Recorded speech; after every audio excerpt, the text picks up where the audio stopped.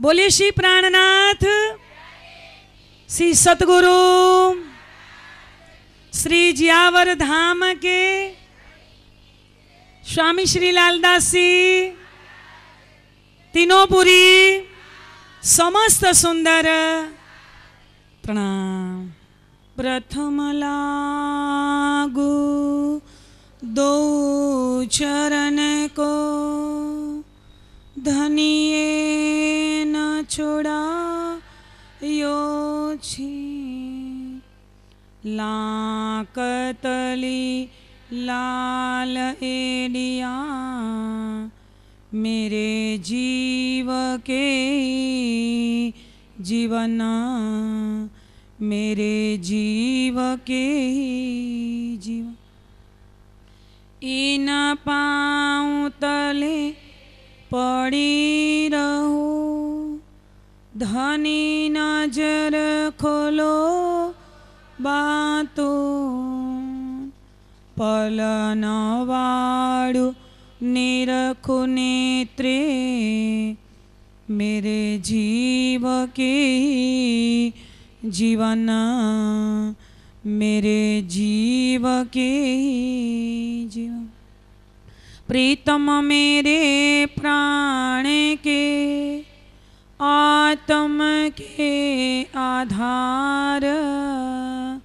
सर्व शोभा देने योग्य हो श्रीलीलानित्यविया श्रीलीलानित्यविया बोलिए श्री प्राणनाथ। बोलिए श्री प्राणनाथ। प्राणाधार आत्म संबंधी धाम धनी के लाडले एवं प्यारे सुंदर सा जी सबसे प्रथम तुम्हारे सी चरणों में मेरा कोटि कोटि प्रणाम। कल के प्रसंग में हमने सुंदर सा जी तीसरा दर्शन, कल हमने विस्तार से देखा कि पूर्ण ब्रह्म परमात्मा अक्षरातीत श्री प्राणवल्लभ, श्री प्राणनाथ कभी भी इस संसार में नहीं आए थे, उसकी आवेश शक्ति आती है, वो तो स्वयं नहीं आते मूल रूप से, मूल स्वरूप से। लेकिन आवेश शक्ति भी प्रथम बार सिपाही वेश में मोहम्मद के रूप में, कच्छ के रण में दर्शन दिया दोबारा। भुज नगर में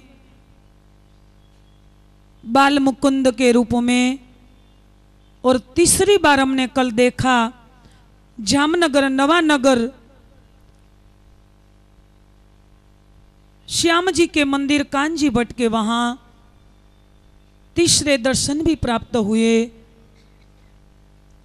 उसके बाद भी हमने कई लीलाएँ देखी और अंतिम में पाँचवें दिन की लीला में भी हम पहुँच गए सुंदर साथ जी मैंने एक दिन बताया था कि हमारी छ हमारा छः दिन चार लीला और तीन ब्रह्मांड उसमें हम पाँचवें दिन की लीला में पहुँच गए। कितने दिन की? पाँचवें दिन की। और छठे दिन की लीला किसकी है? हम सब सुंदर साथ की। और जो आज जो लीला चल रही है, वो हमारी लीला चल रही है। किसकी चल रही है? हमारी लीला। आज इस दिन में हमको क्या करना है, सुंदर साथ जी? एक ब्रह्मात्मा, एक ब्रह्म सृष्टि दूसरे को जगाएगी, दूसरी तीसरे को।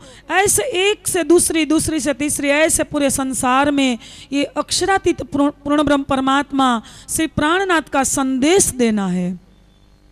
क्योंकि वाणी उतर गई 400 साल हो गए सुंदर साथ जी। तो आज छठे दिन में जो हमको ये शोभा सौंपी ने, छठे दिन में ज़ाहिर मैं तो महाराजा छत्रसाल को सौंपी। बातूनी में सबके ब्रह्मात्माओं के सब दिल को अर्श कर धाम बनाकर धमधनी बैठ गए।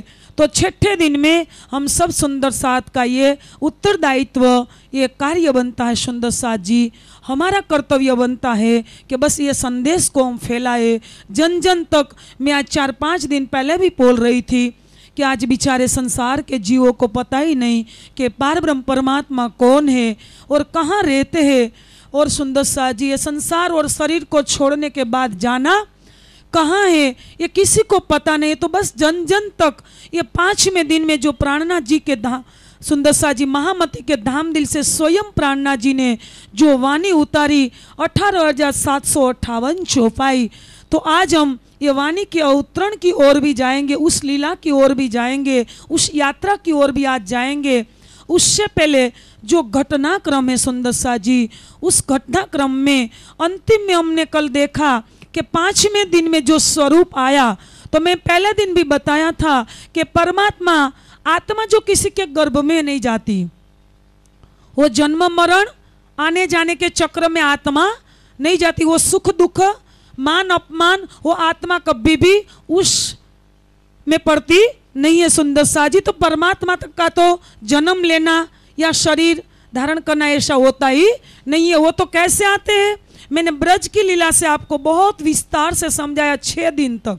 त्रिधा लीला को छः दिन तक समझाया कि कैसे वो आए। सुंदर जी, पहले दिन कैसे आए, दूसरे दिन कैसे गए, तीसरे दिन कैसे लीला हुई, चौथे दिन की कैसे लीला हुई, और आज पाँचवें दिन में हमने कल सुंदर सा जी पाँचवें दिन का प्रारंभ कर दिया। तो पाँचवें दिन के बाद आज छठे दिन हमारा चल रहा है तो पाँचवें दिन की लीला कल हमने देखा कि नवा नगर नौतनपुरी सुंदर सा जी, आज देखो, मरु और देवापी। भले ही देवापी का जन्म उमरकोट मारवाड़, आज पाकिस्तान में चले गए, सिंध में। जन्म वहाँ देवापी का हुआ, जो शांतनु के भाई थे, मैंने पहले दिन भी बता दिया था। लेकिन उसकी पूरी लीला कहाँ हुई सुंदर सा जी? हमारा सद्भाग्य हमारा अहोभाग्य, हमारा सद नसीब के देवापी और मरु दोनों की जो जन्मभूमि ऐसे यहाँ ही रही। मान लो, भले ही देवापी का जन्म वहाँ हुआ, उमरकोट में, मारवाड़ में, लेकिन पूर्ण लीला कहाँ हुई उसकी? पूरी नौतन, पूरी गुजरात में हुई सुंदर साथ जी। श्यामा जी की पूरी लीला, वो तो बाहर गए भी नहीं। पूर्ण लीला उसकी नौतन, पूरी में हुई। हाँ उसकी खोज अलग अलग जगह पर रही अलग अलग प्रांत में रही। सुंदर सा जी लेकिन उसका पूरा जो लीला का जो है, वो सब सब सुख ये यहाँ का रहा। और पाँचवें दिन में मरु का जन्म भी आज हमारे गुजरात, हालार, काठियावाड़ जो भी बोलो है हमारे मायके कहो या ससुराल कहो, हमारी भाषा में हम कहे तो देखो, वहाँ ऐसे महापुरुष का प्रगटन ऐसी महान आत्माएँ जो हज़ारों हज़ारों साल तक कलाब ग्राम में सुंदर सा जी हिमालय में साधना की है और आज अंतिम लीला जहाँ पूर्ण कर रहे हैं सुंदर सा जी और पूर्ण की 400 साल पहले, उस जगह पर हम आज बैठे हैं। तो हमारे अंदर वो नूर, वो बल, वो शक्ति क्यों नहीं आनी चाहिए? आनी ही चाहिए सुंदर सा जी। तो ऐसे आज पाँचवें दिन में हम कल अंतिम में देखा कि सुंदर सा जी केसर भाई और जो तेजस्वी बाबा। आज ये बात तक हम जाएँगे सुंदर सा जी, जब वहाँ पहले जब हमारी गद्दी की प्रारंभ होगी तो पहले ये आएँगे। लेकिन पाँचवें दिन की लीला के बाद, वो पाँचवें दिन की लीला वहाँ पूर्ण नहीं हुई है।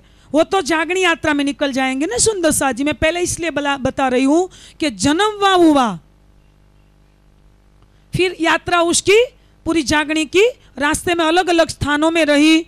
तो सुंदर सा जी, वो मरु का जन्म हमने कल देखा। वो जो जीव का जन्म, मरु नाम के जीव का जन्म केशव राय ठाकुर और माता धनबाई के गर्भ से मरु का जन्म हुआ। और उसके घर में मैंने लौकिक कुटुंब कबीले का भी नाम दिया कि बड़े भाई हरिवंश भाई, उसके बाद सामलिया भाई, गोवर्धन भाई, मेहराज ठाकुर और अंतिम में उद्धव ठाकुर।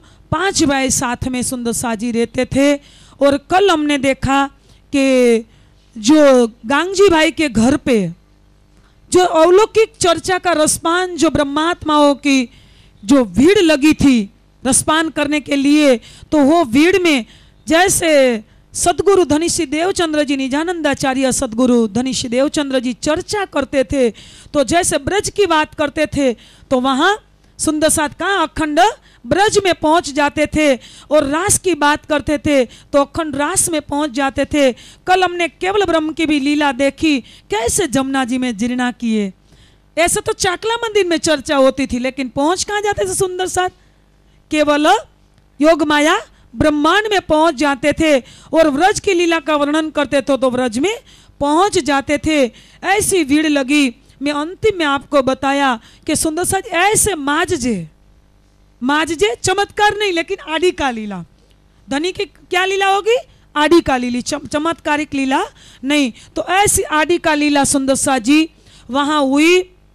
कल मैंने अंतिम में बताया कि तारतम वाणी का अवतरण नहीं हुआ था तो सुंदर सा तीन सौ तेरह आत्माएँ जगी सतगुरु ने पहचान भी लिया लेकिन वास्तविक जागनी पूर्ण जागनी नहीं हुई क्योंकि जो मुखारविंद से ब्रज रास और धाम की बात तो करते थे लेकिन वाणी का अवतरण नहीं हुआ था तो वास्तविक जागनी नहीं हुई फिर सुंदर सात माया में सो जाते सदगुरु के बाद सुंदर सा यंत्र ध्यान लीला जाएगी उसके बाद वो फिर माया में सो जाते हैं और उसके आगे हम देखेंगे कि माजजे अनेक लीलाएँ तो की धामधनी ने क्यों पकड़ के रखा सुंदर सात को? क्योंकि माया का इतना प्रभाव था, इतना ज़ोर था कि चर्चा तो सुन लेते थे। मैंने कल भी बताया ने कि घर पे जाके वाणी नहीं होती तो हमारे अंदर अंधकार का पूरा फैल जाता ना, अंधकार अंदर फैल जाता तो ऐसा ही तभी रहा सुंदर सा जी, उसके बाद क्या लीला हुई? तो उसके बाद सबसे पहले गोवर्धन भाई गए सदगुरु के चरणों में और उसने सदगुरु को आज्ञा की और अपनी आत्म को जगाने की भी बात की और सदगुरु ने बोला कि छोटी उम्र में, छोटी आयु में जो अंदर आता है, वो बड़े होने के बाद नहीं आता है क्योंकि बालक का हृदय निर्मल और पवित्र होता है। तो फिर सुंदर सा जी, जब सदगुरु की आज्ञा लेकर बारह साल, दो मास और दस दिन की उम्र में कल हमने मिलन भी देखा। और मिलन के बाद रोज ही चर्चा, सदगुरु धनी सिदेव चंद्र जी ऐसे उमंग में भर कर करते हैं, गांग जी भाई के घर पे, और सुंदर साथ की भीड़ भी इतनी लगी रहती है, और सब परम धाम ब्रजरास के आनंद में डूब जाते हैं। तो यहाँ धाम धनी ने हमने कल बताया कि आई के चरणों लगे तब ही दई निध, तत्खिन हृदय मिने आई जागृत बुद्ध। जैसे ही पाँचवें दिन में मिहराज के अंदर कौन बैठा था सुंदर सा जी? इंद्रावती की आत्म बैठी थी। जैसे चरणों में प्रणाम किया झुक के, तभी अंदर कौन आ गई? जागृत बुद्धि आ गई कि अब तक, हद तक की वाणी खुल रही थी। उसके बाद क्या आएगा? जागृत बुद्धि आने के बाद बेहद की वाणी खुलेगी। तो देवचंद्र जी जो बात खोल रहे थे, ब्रज की, रास की और धाम की, लेकिन अंदर कौन बैठी थी? जागृत बुद्धि। तो सुंदर सा जी, जागृत बुद्धि किसके अंदर पाँचवें दिन में प्रवेश की? मिहराज के अंदर, इंद्रावती के धाम दिल में। तो यहाँ धाम धनी ने सुंदर सा जी हमको बताया और आगे क्या बताया सदगुरु ने? इंद्रावती को जब अंदर जागृत बुद्धि बैठ गई और आगे बताया कि इंद्रावती, शाकुंडल और शकुमार। शाकुंडल और सकुमार की कई डुंडा कई सुनाई बात मूल स्वरूप उनके हंसत है, खेल में है अपनी जात।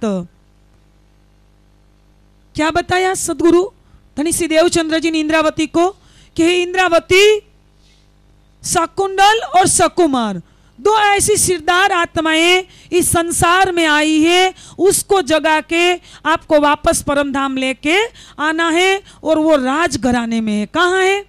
वो राज घराने में है। उसको जगाने में जगाते जगाते बहुत देर हो जाएगी। लेकिन वो दो आत्माएँ जब जग जाएगी ने, तभी ये खेल खत्म हो जाएगा सुंदर सा जी। आज हम संसार में सुनते आ रहे हैं तीन चार साल पहले भी एक अफवाह उठी थी संसार में कि भाई, प्रलय हो जाएगा। हो जाएगा, ऐसी बात तीन चार साल पहले संसार के लोग करते थे ना, माया के जीव। कि भाई, प्रलय हो जाएगा, पानी फिर जाएगा पूरी पृथ्वी पर। सुंदर सा जी, ऐसा नहीं होगा, क्योंकि धामधनी ने जो वाणी में लिखा है कि दो आत्म ऐसी सिरदार आई है, वो जब जग जाएगी, उसके बाद ये सृष्टि का प्रलय होगा। ऐसे सृष्टि, प्रवाह से तो अनादि है मूल उसका जो मूल है, वो अनादि नहीं है। प्रवाह से अनादि एक बार सृष्टि बनती है। मैं सृष्टि का रचना क्रम कैसे होता है, मैंने प्रारंभिक चर्चा में बता दिया सुंदर साथ जी, कि सृष्टि जब बनती है, अक्षर ब्रह्म के मन स्वरूप, मन में क्या आता है? स्वप्न। तो स्वप्न के स्वरूप कौन है? आदि नारायण और आदि नारायण के संकल्प से यह सृष्टि की रचना हो जाती है, फिर सृष्टि का चक्र चालू रहता है। फिर मैंने पौराणिक मान्यता के आधार पर बताया था सुंदर साथ जी कि सृष्टि का चक्र, ब्रह्मा जी की सौ वर्ष की आयु तक ये सृष्टि का चक्र चालू रहता है। और मैं ब्रह्मांड रहस्य नामक ग्रंथ के आधार पर भी बताया था कि सृष्टि का चक्र इकतीस नील, दस खरब और चालीस अरब वर्ष तक ये सृष्टि बनना और मिटना ये चालू रहता है और उसके बाद ये सृष्टि लय हो जाती है, सुंदर साथ जी। तो यहाँ भी बताया कि अभी तक साकुंडल 400 साल पहले हमने देखा कि साकुंडल तो जग गई, जब श्री जी पन्ना में पहुँचे तो लेकिन सकुमार जगी नहीं है, तभी तो खेल खड़ा है, तभी तो खेल खड़ा है, नहीं तो तो खेल खत्म हो जाता, सुंदर साथ जी। तो अभी साकुंडल जग गई, लेकिन सकुमार नहीं जगी है। और आगे भी बताया, सदगुरु, जब बातें बताते जाते हैं, मैं रोज ही एक एक प्रसंग में बोलती हूँ। सुंदर साथ जी, आज भी याद दिला दो आपको प्रारंभिक प्रवचन में ही सुंदर साथ जी, कि यह घटनाक्रम किसका है? किसका है घटनाक्रम सुंदर शाह जी? हमारा है। यह देवचंद्र जी का नहीं है। यह कोई सकुमार या सकुंडल का नहीं है। उसने तो चल के दिखा दिया इस ब्रह्मांड में। उसने तो चल के दिखा दिया। उसका जो प्रमाण देकर, उसके आधार लेकर सुंदर सा जी, हम सीख लेनी है। उसकी और उसके जीवन और हमारे जीवन के बीच की समीक्षा करनी है कि भाई हम इस तरह चल रहे या नहीं? उस राह पर हम चले या नहीं? तो हम अपनी जात को तोले, हम अपने को सजा दे कि हे रूह हे जीव, तुझको धिकार है, तू अभी तक इस राह पर चल नहीं रहा है। तो यहाँ सदगुरु महाराज तभी तो पाँचवें दिन में इंद्रावती को पूछ रहे कि, हे इंद्रावती शकुंडल और शाकुमार, दोनों आत्माएँ शिरदार, आइए। फिर इंद्रावती के अंदर एक और बात उठी, उसने पूछा, सदगुरु, क्या मुस्लिम इस्लामिक जगत में भी हमारी आत्माएँ आई है? तभी सदगुरु ने बोला हाँ वो इस्लाम धर्म में भी हमारी आत्माएँ आई है, लेकिन कोई कोई आत्माएँ उतरी है। कोई कोई आत्माएँ उतरी है, ऐसे बहुत नहीं है। तो यहाँ बताया कि तो आपके हाथ में कुरान आया? तब सदगुरु ने बोला कि, मैं तभी कुरान लेने के लिए बहुत प्रयास किया, लेकिन जो शरीयत को मानने वाले लोग, तरीकत को मानने वाले लोग, उसने मेरे हाथ में कुरान आने नहीं दिया। लेकिन हे इंद्रावती, पाँचवें दिन में सब जागनी ये सब जागनी का पूरे संसार का उत्तरदायित्व तेरे सिर पर है। किसको बोला? इंद्रावती को बोला। तो पाँचवें दिन में सुंदरसा जी जो भी विद्वान को मैं एक एक बात कर प्रसंग लेके जाऊँगी, लेते जाऊँगी सुंदरसा जी, कि मान लो किसी को भी शोभा मिली विद्वान की, ज्ञान का प्रचार करने की, चाहे कोई भी गद्दीपति महाराज जो भी हो विद्वान हो, कोई भी प्रचारक हो सुंदर साथ जी, लेकिन अपना अहम या अपना अभिमान या अपनी खुदी लेनी नहीं चाहिए, क्योंकि धामधनी ने वाणी में बता दिया, अभी सदगुरु ने चौथे दिन में बता दिया कि हे इंद्रावती, पाँचवें दिन में सब उत्तरदायित्व तेरे पर इतना ही नहीं, छठे दिन में भले मैं एक एक सुंदर साथ के तन को, शरीर को शोभा दूँगा जगाने के लिए। बता कि जिनको पहुँचे तारतम सोई करे रोशन, सूरत में बात आएगी। कि जिन्हें तारतम जिसको तारतम पहुँचे, वो रोशनाई करेगा। लेकिन मैं अभी ये कहने जा रही सुंदर साथ जी, सुंदर साथ के दिल में बैठकर भी जागनी कौन करेगा? पाँच में छठे दिन में भी। राज जी श्यामा, राज श्यामा जी, अक्षरा, तीत, भले सुंदर साथ को शोभा दी सुंदर साथ जी, लेकिन महामती से ही जागनी होगी, क्योंकि उसको शोभा पूरे संसार के जीवों को अखंड करने की मिली है और आगे ऐसी चर्चा सुंदर साथ जी चलती रही गांगजी भाई के वहाँ चाकला मंदिर में। और आगे एक दिन क्या हुआ पता है? एक दिन ऐसी घटना घटी सुंदर साथ जी के दोनों भाई, गोवर्धन भाई, जो तीसरे नंबर के भाई है, बड़े भाई, मिहराज के और मिहराज, दोनों चर्चा सुन के दोनों साथ में जाते, साथ में आते, ऐसे दो नाते की बात थी, लौकिक और अलौकिक। तो दोनों साथ में आते थे, जाते थे। अंदर का भी इतना गाढ़ संबंध और गाढ़ प्रेम था कि एक दूसरे के सिवा रह ही नहीं पाते थे। एक दिन घर पे पहुँचे और जो सामलिया भाई, बड़े भाई की जो पत्नी है, सीताबाई, उसने ताने मार दिए। क्या मार दिए?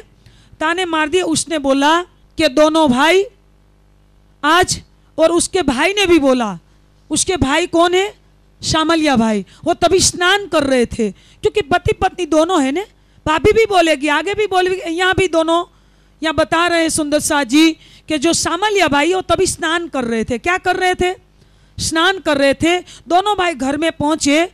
धामधनी देखो क्या बता रहे हैं। ये कोई शामलिया भाई का प्रसंग नहीं है। हमको धामधनी ये बता रहे हैं कि जैसे तुम चर्चा सत्संग, ज्ञान, वैराग्य और भक्ति, तीन बात ले लेना। मैं रोज ही बताती हूँ। जब उसकी और आपके जर्नी आगे बढ़ेगी, आपकी यात्रा आगे बढ़ेगी, तब दज्जाल अपना रूप लेगा ही लेगा। हमने देखा ना, देवचंद्र जी जब जवर आने लगा, बुखार आने लगा तो यहाँ भी श्यामलिया भाई किस रूप में खड़े हो गए? एक दज्जाल के रूप में, क्योंकि उसको अच्छा नहीं लगा। सुंदर जी माया के जीव को अच्छा नहीं लगेगा। हाँ धामधनी प्रकाश में बता दिया कि काले पत्थर रहते जो दिग हुए, सुंदर शाह जी, भले ही अंदर कठोर दिल था, लेकिन हबसा में वो भी पिघल जाएँगे। वो भी पिघल जाएँगे। हम एक बोलचाल की भाषा में बोलते हैं ना कि जो एक काले पत्थर, ठोस पत्थर होते, उस पर जितना भी पानी गिराए, वो पत्थर पिघलता नहीं है। लेकिन हाँ धामधनी की कृपा से वो सुंदर शाह जी पिघल गया। ऐसा नहीं, रोज पानी ऊपर गिराएँगे ने तो पत्थर एक दिन अंदर तिरार तो पड़ेगी ही पड़ेगी। ऐसा तो नहीं है। और हम पता है, पहले गाँव में बहने पानी जब कुएँ से बाहर निकालती थी तो ऐसे पत्थर पर एक रस्सी रखते थे। उस पर हम एक लकड़ी से वो खींचते थे ना पानी नीचे से। तो जो रस्सी ऐसे नीचे से ऊपर आती थी, ऊपर से नीचे जाती थी तो ऐसे उस पर एक अंदर नीचे खांचे पड़ जाते थे, पता है? जब रस्सी से। क्योंकि बार बार करते रहते ने। रस्सी बार बार बाल्टी कुएँ में जाती, फिर निकालते, फिर कुएँ में जाती, फिर पानी को निकालते। तो ऐसे हमारे पर घा पड़ते जाएँगे। ये किसकी बात है सुंदर सा जी? आपको समझ में नहीं आया। मैंने क्या बात रखी? हमारे पर धनी क्या कर रहे हैं? बार बार हमारे अंदर बात उतारने के लिए कोई भी रूप में, कोई भी माध्यम से बात उतारने के लिए तनी कोई भी एग्ज़ाम्पल लेंगे, कोई भी उदाहरण लेंगे कि एक बार तो रस्सी से भी लकड़ी की जो होती है, पूरी गोलक तो उसके अंदर भी अंदर खांचे पड़ जाते तो हमारे अंदर भी एक बार घा तो लगना चोट तो लगनी, चाहिए ही चाहिए। यहाँ श्यामलिया भाई स्नान कर रहे थे सुंदर शाह जी, उसने देख लिया कि दोनों भाई घर काम में अनजान बन गए और घर से उसका कोई नाता नहीं रहेगा। और कहाँ जाते हैं? सदगुरु के यहाँ, देवचंद्र जी के यहाँ यहाँ चर्चा सुनने के लिए रोज चले जाते हैं। जब ऐसा कहा और ये भी कहा कि मैं जब आप जहाँ चर्चा सुनने के लिए जाते हो और गांग जी भाई, जिसके घर पे जाते हो और जो सुनाते हैं सुनाते हैं कौन? सदगुरु धनी सिद्धेव चंद्र जी, और घर किसका है? गांगजी भाई का। तो दोनों को मैं शहर से बाहर, जामनगर से बाहर न निकाल दूँ, तब तक मैं चैन से बैठूँगा। नहीं, जब सदगुरु के प्रति ऐसा वचन सुना, सुंदर साथ जी तो मिहराज को दुख हुआ कि सदगुरु के प्रति मैं कभी भी ऐसे न बोलने के वचन मैं कभी भी सुन नहीं सकता। तो उसने क्या किया? मारने के लिए दौड़ पड़े। सुंदर शाह जी, तभी माता जी वहाँ धनभाई खड़ी थी। उसके पीछे शामलिया भाई, पीछे चुप गए सुंदर शाह जी। और आगे क्या हुआ? इतने में केशवदास जी आ गए। तो केशवदासी ने बोला कि, अरे, घर में ये क्या शोर करके रखा है? तो आगे सब बातें माता जी ने भी बताई, मिहिराज ने भी बताई, सब घर के लोगों ने बताई। तब केशवदासी ने बोला कि क्या बात है? मेरे को वास्तविक बात बताइए ने। तभी शामलिया भाई ने बोला कि ये लोग क्यों सदगुरु देवचंद्र जी के वहाँ चर्चा के लिए जाते हैं? सदगुरु देवचंद्र जी से पहले गांगजी भाई कहाँ चर्चा सुनते थे?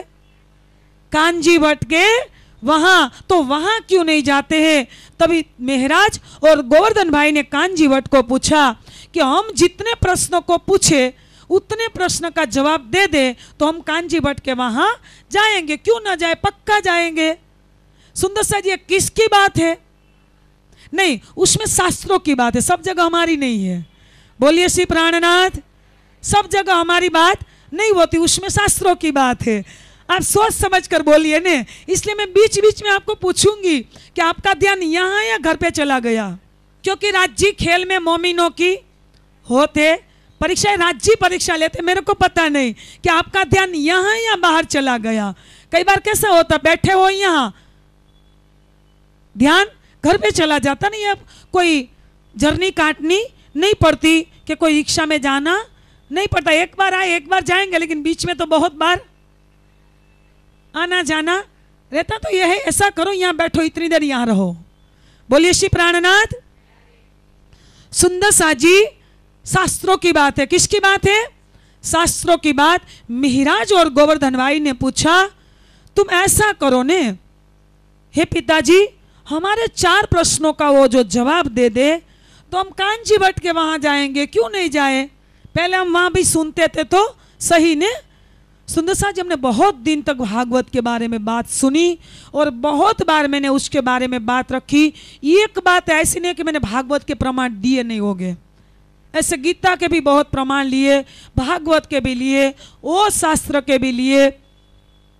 तो यहाँ ये बताते हैं कि कांजी भट्ट के वहाँ जाने के बाद चार प्रश्न का वो जवाब मेरे को दे दे। क्या चार प्रश्न है? सुंदरसा जी, कितने लोग कितने प्रलय, कितने तत्व और कितने गुण? ये चार प्रश्न की बात रखी।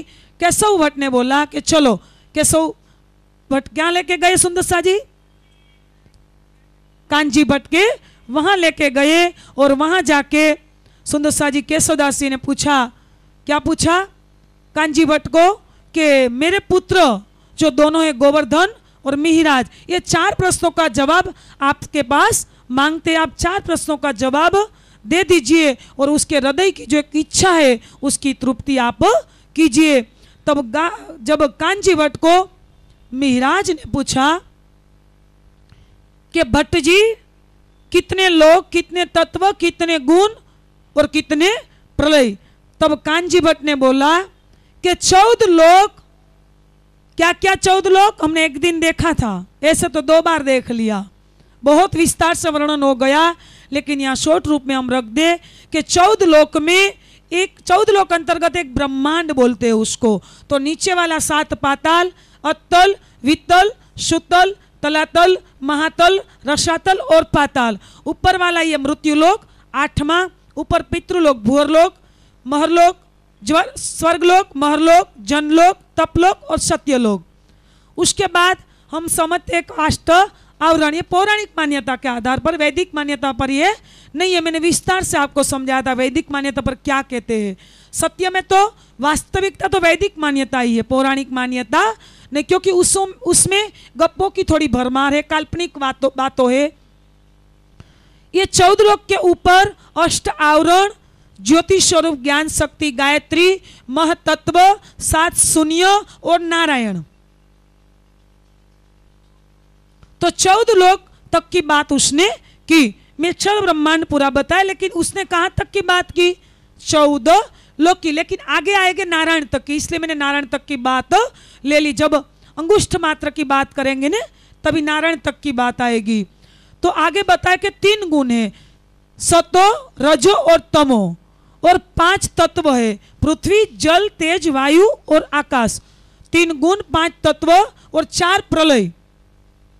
नित्य प्रलय नैमितिक प्रलय, प्राकृतिक प्रलय और महाप्रलय।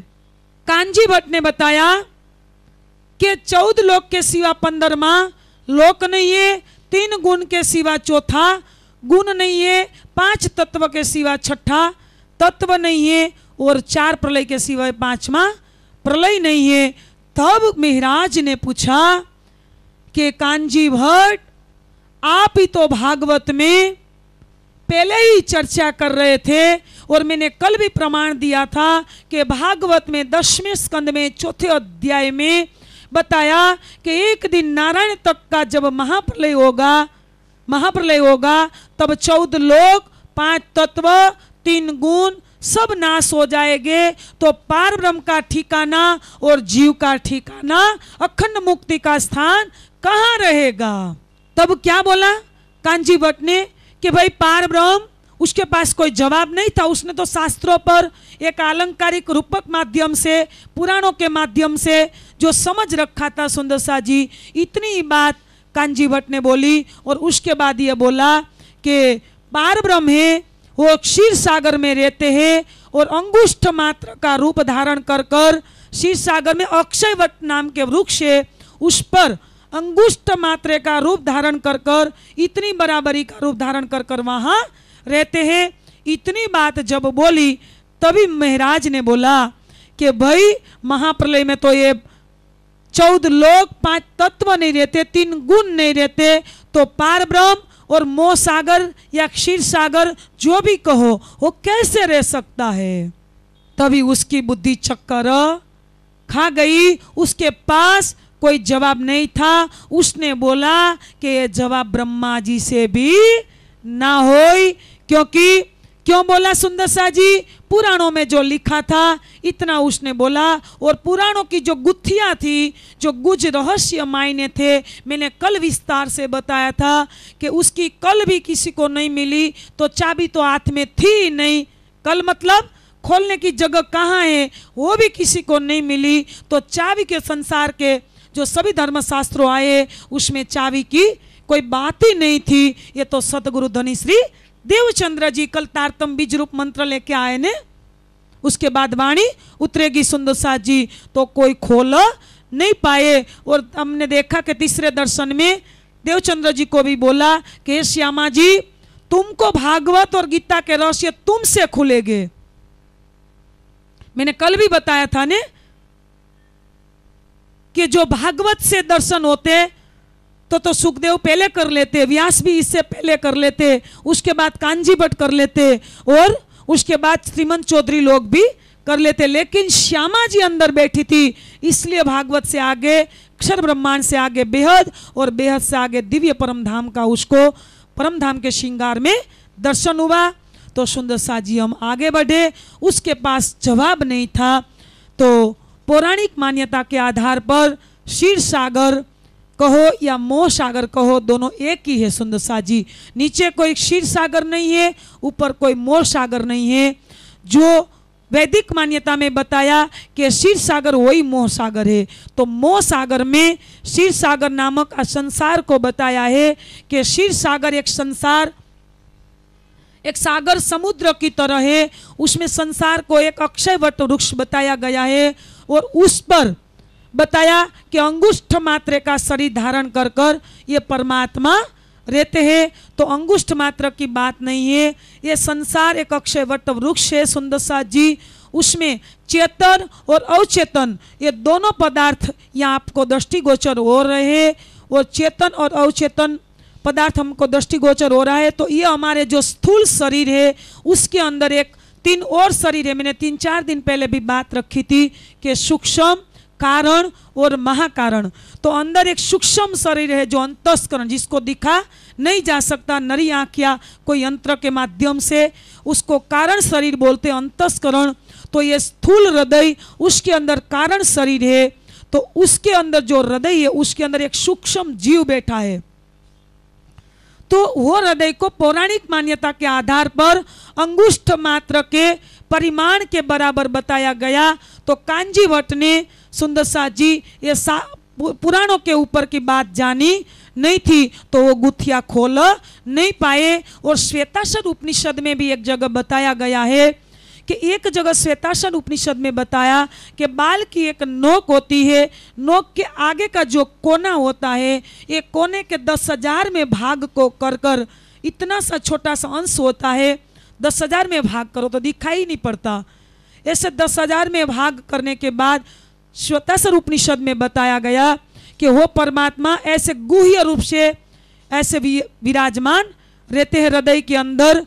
तो सुंदर साथ जी वो दिखाई नहीं पड़ता है। वो गुह्य रूप से अंदर जीव का बताया। किसका बताया? जीव का अंतर में वास होता है श्वेता स्वरूपनिषद में भी बताया। लेकिन हृदय के आकार को अंगुष्ठ मात्र के परिमाण के बराबर बताया। तो ऐसी कई गुथिया थी सुंदर साथ जी, पौराणिक आधार पर वो कांजी भट्ट खोल नहीं पाए और मिहराज के सामने जवाब देने में, जवाब देने में उसकी बुद्धि चक्कर खा गई। उसने बोला कि जवाब ब्रह्मा जी से भी ना होई क्योंकि ब्रह्मा विष्णु महेश की उत्पत्ति कैसे हुई है? नारायण के संकल्प से, सुंदर सा जी। तो मोह सागर से जितने संसार के स्वप्न की जीव जीव की उत्पत्ति हुई है, उसके पास, किसी के पास ये जवाब नहीं है, सुंदर साथ जी। हम आगे बढ़े तो यहाँ गांग जी भाई के घर पे जो चर्चा चलती थी, उसमें से कांजी भट्ट के वहाँ दोनों भाई को लेकर कौन गए? केशव दासी गए और उसने जवाब वहाँ नहीं मिला दोनों भाइयों को। तो केशवदासी ने बोला कि तुम दोनों भाई आपके मन में जो विचार आए, वो कर सकते हो। उसमें मेरा कोई अधिकार आपको रोकने का नहीं है। तो उसके बाद यहाँ बताया कि दोनों भाई, कौन? गोवर्धन भाई और मिहिराज। दोनों साथ में जाते थे, लेकिन अभी 1700 की साल आ गई। सोलह में मिलन हुआ था ने? 1700 की साल आ गई। जो बड़े भाई तीसरे नंबर के गोवर्धन भाई थे, वो 24 साल 10 महीने और पाँच दिन तक साथ में रहना हुआ और उसके बाद उसका देहांत हो गया, धाम गमन हो गया। तो उसके बाद जो मेहराज की जो पहचान थी सदगुरु के प्रति, सदगुरु के अंदर जो आवेश शक्ति बैठी थी, उसकी पूर्ण पहचान अभी मेहराज को हुई नहीं थी। तो धामधनी ने उसके आगे वाले प्रकरण में बताया कि तेरह वर्ष मायामी ने था ऊपर लौकिक बोझ। तेरह वर्ष मायामी ने था ऊपर लौकिक बोझ। रमे बीच कोसर ओझ कहा रम रहे कहा रम रहे सुंदर सा जी ओझ कोसर में। तो हम एक चौपाई उसकी गाए। सुंदर साथ जी हमने किसकी चौपाई बोली? परिक्रमा ग्रंथ में जो होज कोसर का वर्णन धामधनी ने जो बहुत विस्तार से दिया है ऐसे बार बार होज कोसर का वर्णन आता है, है? तो यहाँ मैंने एक बात जो रखी कि मिहिराज को अभी एक निष्ठ प्रेम। ये किसकी बात है सुंदर सा जी? पहले तो यह दृढ़ कर लो। डरो मत। अरे हमारी बात है। किसको ओज को सर में जाना है? और जो वहाँ की होगी, वही तो वहाँ जाएगी। और जीव थोड़ी जाएँगे। कौन जाएँगे ओज को सर में? टापू महल में कौन खेलेंगे चार घाटों में? हैं? झुंड के घाट में नौ देवरी के घाट में, तेर देवरी के घाट में, सोलह देवरी के घाट में कौन खेलेगा? जो परम बताए तो सही कि जो वो वे रू अर्ज़ की, फिर ऐसा न पावे क्या बताया कि तुमको बार बार ये अवसर जो बीस दिन मिला है ना? कितने दिन? बीस दिन मिला ये बार बार मिलने वाला नहीं है। तो सुंदर सा जी, यहाँ बैठे बैठे ओज को सर का सुख ले लो। घर में जाकर तो बर्तन मांझवाना, मांझना, झाड़ू लगाना, पोछा करना, उसमें पड़ जाओगे। तो क्या सुख लेना है यहाँ? ओज को सर में डूबना है। क्या करना है? या अभी कौन डूब रहे हैं वाणी के माध्यम से?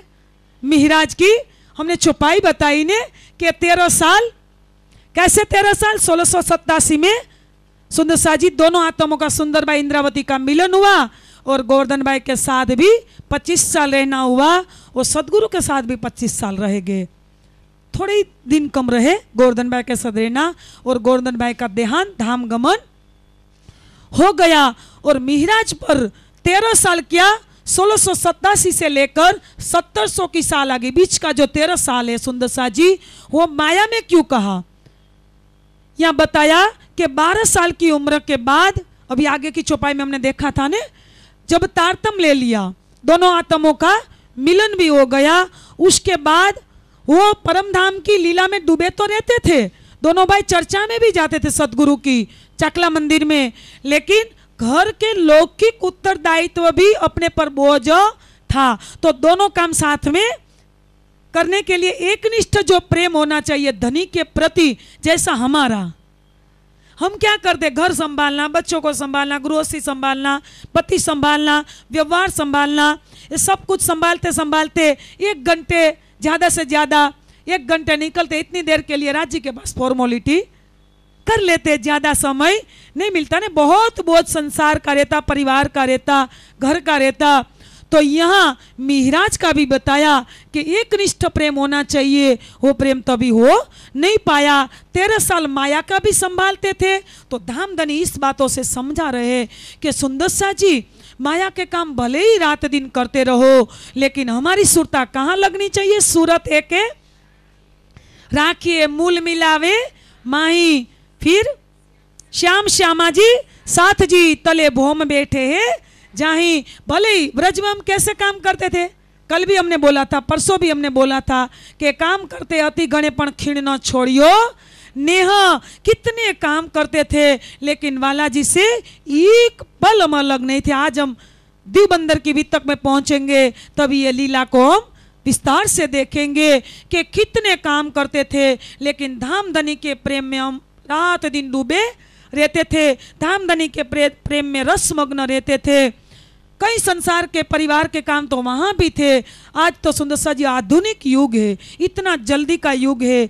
आज सब टेक्नोलॉजी जो है, कहाँ पर पहुँची है? कोई काम की इतनी तो मेहनत या प्रयास करना भी नहीं पड़ता है। तो भी आज हम कितना बहाना बनाते कि देखो ने, आज कितने दिन से मैं कह रही हूँ तो भी सुंदर साथ बोलते कि क्या करे ज्योत्ना बहन कल भी निकलने के लिए मेहनत की।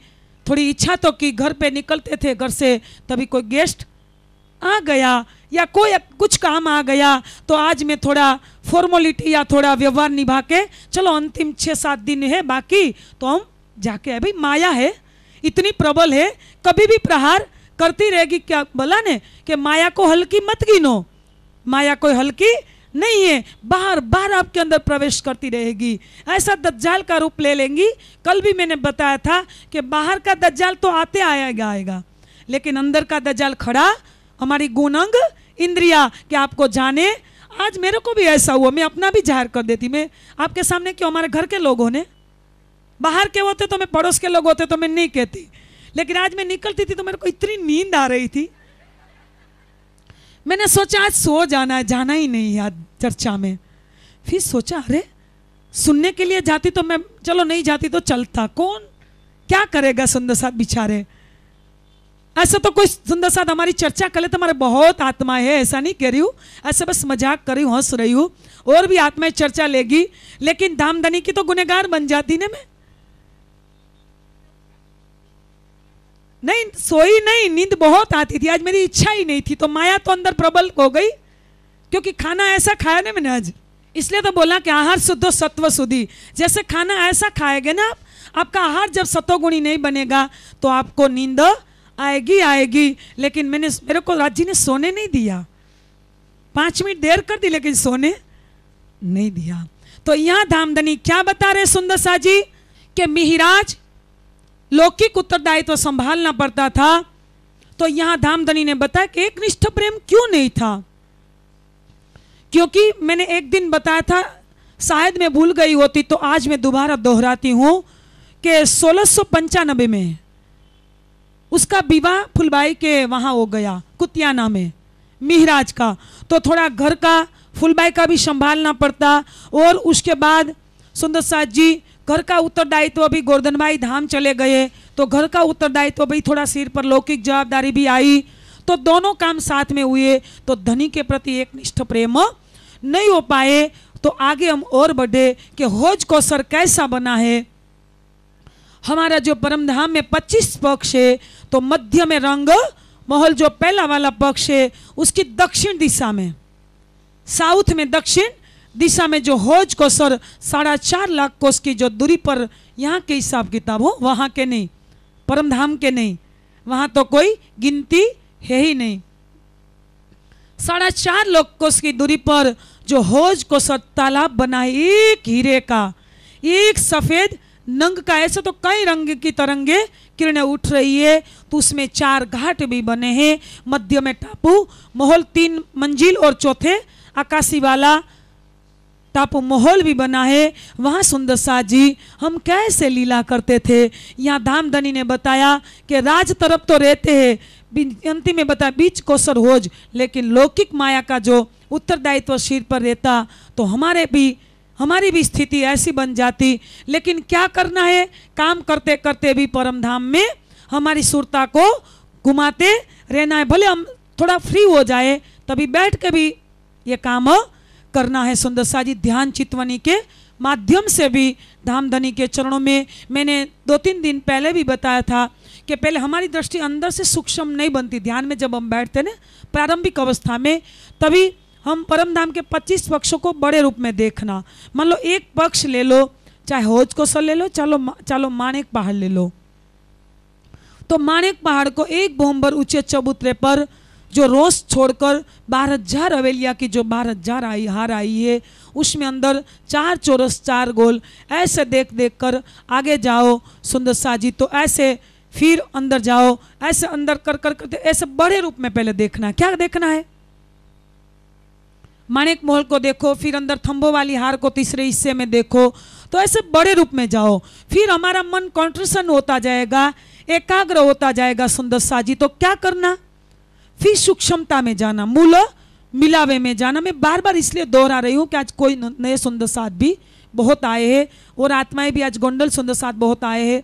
सुंदर सा जी तो पहले हमारा मन इधर उधर ना भटके ने, माया की संसार की ओर तो बड़े रूप में लीला को देखना। फिर हमारा अंदर का जो सूक्ष्म बनता जाए तो मूल मिला में चले जाना। फिर अंदर जाए तो राज्य के वागा वस्त्र, श्रृंगार, आभूषणों को देखना। फिर मान लो कि इससे भी अंदर एकाग्र होने लगता, एक, एकदम कॉन्ट्रेशन आने लगता अंदर का, एकदम हमारी दृष्टि सूक्ष्म होने लगती। तो धाम धनी के बाघा वस्त्र या चरण के ऊपर एकदम नज़र हमारी एकाग्र कर देना। चरण पे पर भी मैं एक दिन तो आपको श्रृंगार की चौपाई बताई थी कि धनी के नख के नूर पर अपनी नज़र बार बार टिकाने के लिए प्रयास करना। फिर हमारी नज़र वहाँ एकाग्र हो जाए या तली में जाए या लाक में या लिंक में एकाग्र हो जाए तो उसके अंदर जो धाम धनी के प्रेम की रस की जो धारा प्रवाहित हो रही है, वो प्रेम को देखना और लीक को देखना लाक को देखना तो ऐसे जो सूक्ष्म बनते जाएँगे तो ऐसे ऐसे हमारा ध्यान एकाग्र होता जाएगा। और एक दिन मैंने बोला था कि ऐसे ध्यान लग जाएगा, आपको पता ही नहीं लगेगा कि पीछे दर्शन होगा। बोलिए, श्री प्राणनाथ।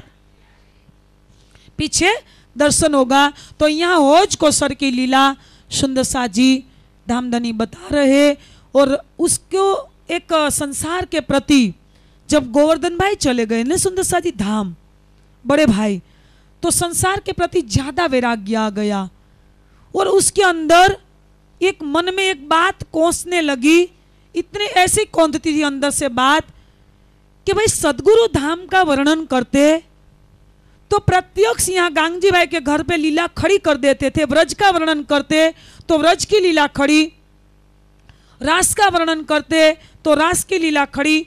अभी होज को सर का हमने वर्णन देखा तो होज को सर या धाम का जो भी पक्ष का वर्णन करते तो वो लीला खड़ी। तो सदगुरु को धाम दिखे और मेरे को क्यों नहीं? ऐसा विचार किसको आया? किसको आना चाहिए? किसको आना चाहिए विचार? कि हमारे पहले जो परमंश आत्माएँ चली, ध्यान से सुनना सुंदर साजी अंतिम तक, हमारे पहले 400 साल पहले या 400 साल के बीच में अभी वर्तमान अभी तक जो आत्माएँ चली, जिस राह पर धामधनी को पाया तो वो राह पर हम क्यों नहीं चल रहे उसने यहाँ बैठे बैठे 400 साल पहले 500 ब्रह्मात्मा ये अमीरुल कही ने, जुलजुलाहट कही। तो उसने यहाँ बैठे बैठे पारब्रह्म अक्षरातीत को पाया और उसके बाद हमने देखा युगल दासी ने पाया राम रतन दासी महाराज जी ने पाया सुंदर शाह जी, ऐसे जवाहरदास जी महाराज जी ने पाया, गोपाल मणि जी महाराज जी ने पाया, ऐसे हमारी कई परमांस बाबा दयाराम साहेब जी ने पाया, ऐसे मैंने एक दिन माता जी को अभी बोला था, पता है? पंजाब वाली एक दिन स्वामी जी का भी, मैंने राजन स्वामी जी का भी बोला था कि यहाँ बैठे बैठे जो धाम का वर्णन करते, वो लीला का अनुभव कर रहे हैं। और ऐसी कई आत्माएँ हैं जो प्रत्यक्ष, प्रैक्टिकल हमको दिखा रही है। क्योंकि वो राह पर वो चल रही है ने? जो चलेगा वही तो दूसरे को मार्गदर्शन या प्रबोध कर सकेगा ने? जो चलेगा, वही तो बोलेगा मान लो मेरे अंदर कोई व्यसन है और मैं नहीं चल पा रही हूँ तो मैं दूसरे को कैसे व्यसन छुड़ाऊँगी? और मैं मैं नहीं चल रही हूँ तो आपको चलने के लिए मैं कैसे बोध दे दूँगी? कैसे दे सकूँगी?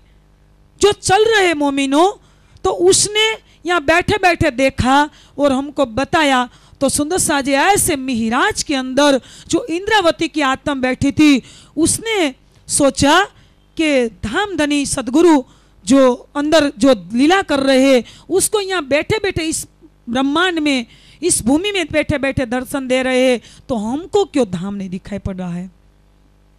तो हमको भी क्यों, क्या सोचना सुंदर साथ जी?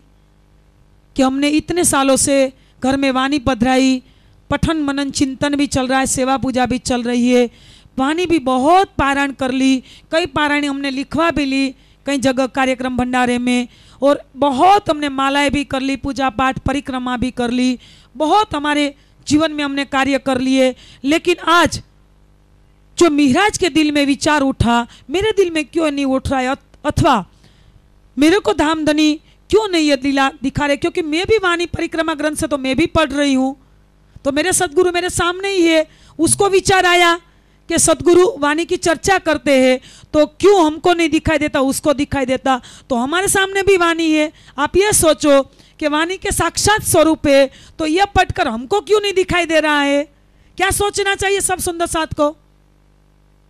कि हमको धाम क्यों नहीं दिखाई दे रहा? अभी क्यों मूल मिलावे? हमारे तो नुरी तन वहाँ परातम तन बैठे हम तो धाम से खेल में आए हैं।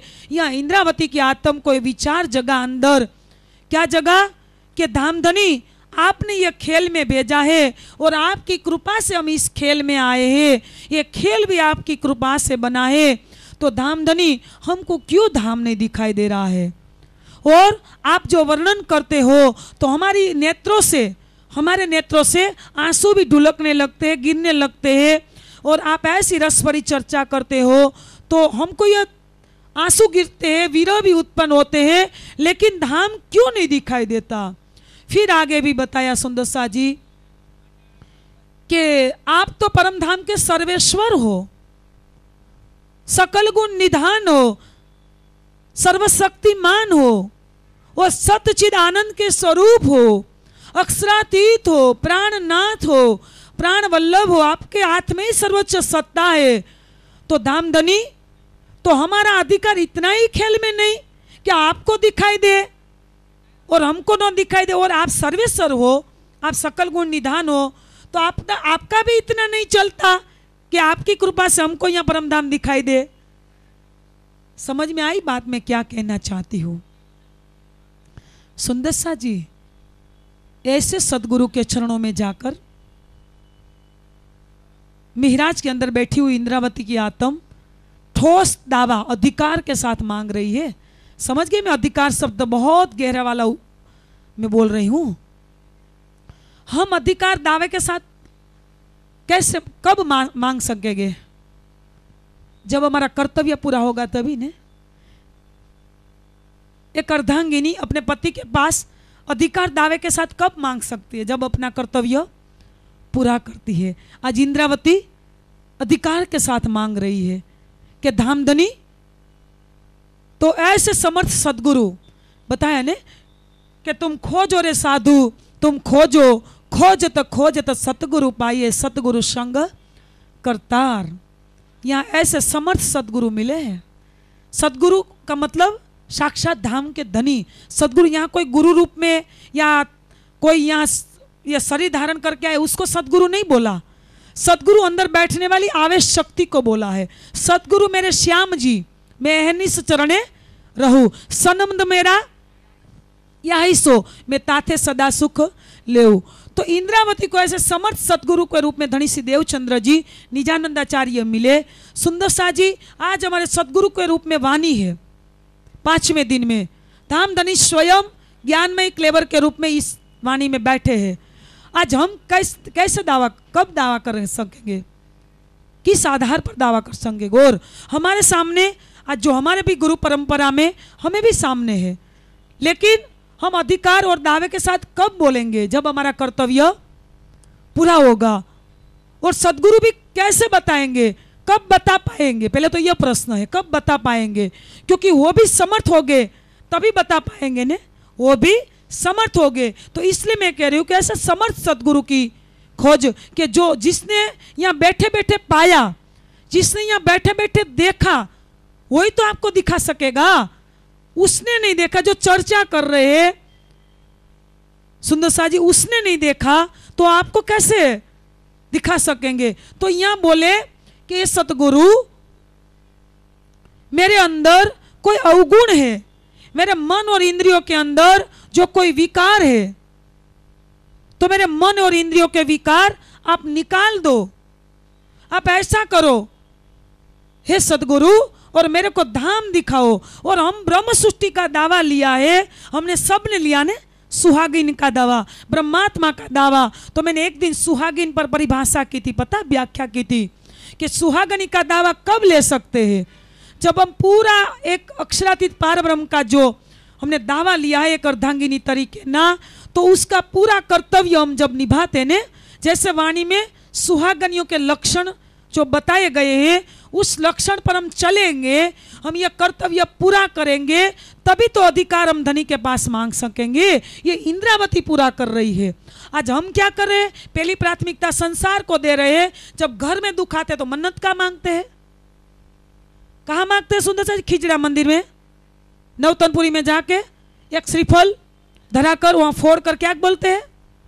काम किसका करते हैं और मांगते किसके पास? काम माया का करते चौबीस घंटे। और जब दुख आता है तो मांगते कहा? हम कर्तव्य, मेरा कहने का भाव यही है कि हम कर्तव्य पूरा और कर रहे हैं, और ही जगह कर रहे हैं, और मांग किसी। तो ये तो ऐसा हुआ कि पड़ोसी के पास का घर का काम करे और घर के पति के पास मांग रहे ऐसा चलेगा क्या? चलेगा। पास के घर का काम कर रहे हो और घर में पति के पास घर चलाने का पैसा मांग रहे घर के पति कितने दिन चला लेगा? तो हमारे घर के पति कौन है अक्षरा? तीत है। तो उसका कर्तव्य पूरा करेंगे, तभी तो अधिकार देंगे। इंद्रावती अधिकार के साथ मांग रही, समझ में आ रहा है? यहाँ सुंदर साथ जी ये बता रहे हैं कि मेरा को ब्रह्म सृष्टि कहने का अधिकार नहीं है सुंदर साथ जी। फिर इंद्रावती ने सतगुरु के सामने जाके बोला कि, हे धनी मेरा तो कई कोट अवगुण हे खंड खंड खांडाधार ये तो कही में गिनती पण गुने को नाही, शुमार कोट अवगुण धनी मेरे अंदर है। ये तो आगे कहेगी, लेकिन यहाँ भी हम भी बोलते ना, अवगुण काटे, गुण रहे, हारे से होए, जीत, साहेब सो सन्मुख सदा। लास्ट वाला चरण किसने बोला? यह ब्रह्म सृष्टि की क्या करना है? सिर्फ़ मेराज ने नहीं, हम भी राज्य के पास रोज बोले। मैं एक दिन पहले भी बता रही थी, आज और बात अलग मोड़ से रखूँगी कि हम राज्य को भोग लगाए ने। इंद्रावती ने क्या भोग लगाया सदगुरु के सामने पता है? हमारे जैसे दाल, सब्ज़ी, रोटी, स्वीट या मिठाई, अब अलग अलग प्रकार की सब्ज़ी भोग नहीं लगाए। क्या लगाया पता है? अहमे वायवा धाम का। इंद्रावती ने एक दिन अपने क्रोध का भोग लगा दिया, धनी, मेरे अंदर दोबारा क्रोध आए ही नहीं। एक दिन अंदर की खुदी का भोग लगा दिया, एक दिन ईर्षा का भोग लगा दिया, एक दिन काम का, क्रोध का, लोभ का, मोह का, मद का, मत्सर का ईर्षा का, द्वेष का, राग का, तृष्णा का, ये सब किसके अंदर है? हम सबके अंदर। तो रोज यही भोग लगाइए। भाव से कि, धनी, आज मेरे अंदर पड़ोसिया, कोई रिश्तेदार क्या सगे संबंधी का देखकर क्यों ईर्षा पैदा हुई? अरे, मैं तो ब्रह्म सृष्टि हूँ। मेरे अंदर कैसे गुण होने चाहिए? रेहवे निर्गुण? हो के? क्या बोला धामधनी ने वाणी में ब्रह्मात्मा के लक्षण में? रेहवे निर्गुण? आहार भी? साफ़ दिल? कभी न दुबावे? क्या बोला? रेहवे निर्गुण हो के? ब्रह्मात्मा कैसी होगी? वो निर्गुण रहेगी। अंदर गुण ही गुण होंगे सुंदर साथ जी अंदर। और आहार भी, उसका खोराक भी सात्विक होगा। ऐसा रजोगुणी या तमोगुणी खोराक नहीं होगा। और और आगे बताया, रेहवी निर्गुण और के आहार भी निर्गुण, साफ़ दिल सुहागिनी। उसका अंतस्करण कैसा होगा? साफ़ होगा। ये कभी भी किसी के दिल को दुखाएगी कि कभी भी किसी को कष्ट नहीं देगी। वो कष्ट झेल लेगी। लेकिन दूसरे को नहीं देगी। तो यहाँ धामधनी क्या बता रहे हैं सुंदर साथ जी?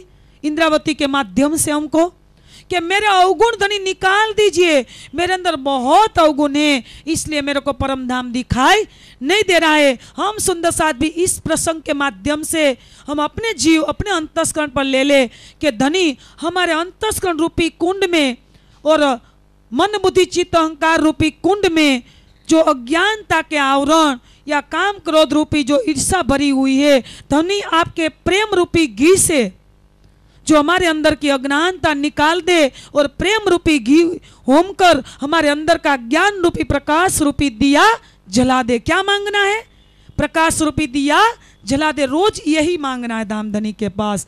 जो इंद्रावती ने मांगा, तब सतगुरु धनी देवचंद्र जी ने बोला कि इंद्रावती तेरे अंदर एक भी अवगुण नहीं है तू तो परम धाम की निर्मल आत्म है जब हमारा अंतस्करण पवित्र हो जाएगा तब धामधनी स्वयं बोलेंगे कि हे आत्म तू तो पवित्र बन गई है तेरे अंदर अभी कोई अवगुण अब हवे रहे, रहे नहीं है सुंदर सा जी यहाँ और आगे तभी तो उसने बात दिल में ले ली। थोड़े दिन बीते उसने सोचा कि सदगुरु महाराज ने जो बोला है, वो मेरे को अनुसरण करना चाहिए, वो शिक्षा लेनी चाहिए, उस राह और मार्ग पर मेरे को चलना चाहिए। थोड़े दिन तो चली। फिर अंदर माया का प्रभाव बढ़ जाता ना, क्योंकि रह रहे हम संसार में ने। मान लो कि एक संसार, एक काजल की कोठरी है, क्या है? जैसे हम आँख में अंजन आनते ने, काजल आनते ने तो संसार एक काजल की कोठरी है। हम जितना भी कपड़े संकुड़ कर चले जाएँगे ना तो भी कहीं तो टच तो हो ही जाएगा। कोई भी जगह काले दाग तो लग ही जाएँगे। ऐसे ही एक काजल की कोठरी के संसार में सब निकल पड़े हैं, सब अपनी अपनी यात्रा में निकले हैं। सुंदर साजी तो मिहराज, फिर इस मार्ग पर तो चले, हम भी चल रहे बीच बीच में बाधाएँ आती ना हमारे जीवन में। तो फिर मिहराज थोड़े दिन तो इस राह पर चले। फिर बोला कि अरे, अभी मेरे अंदर कोई अवगुण है।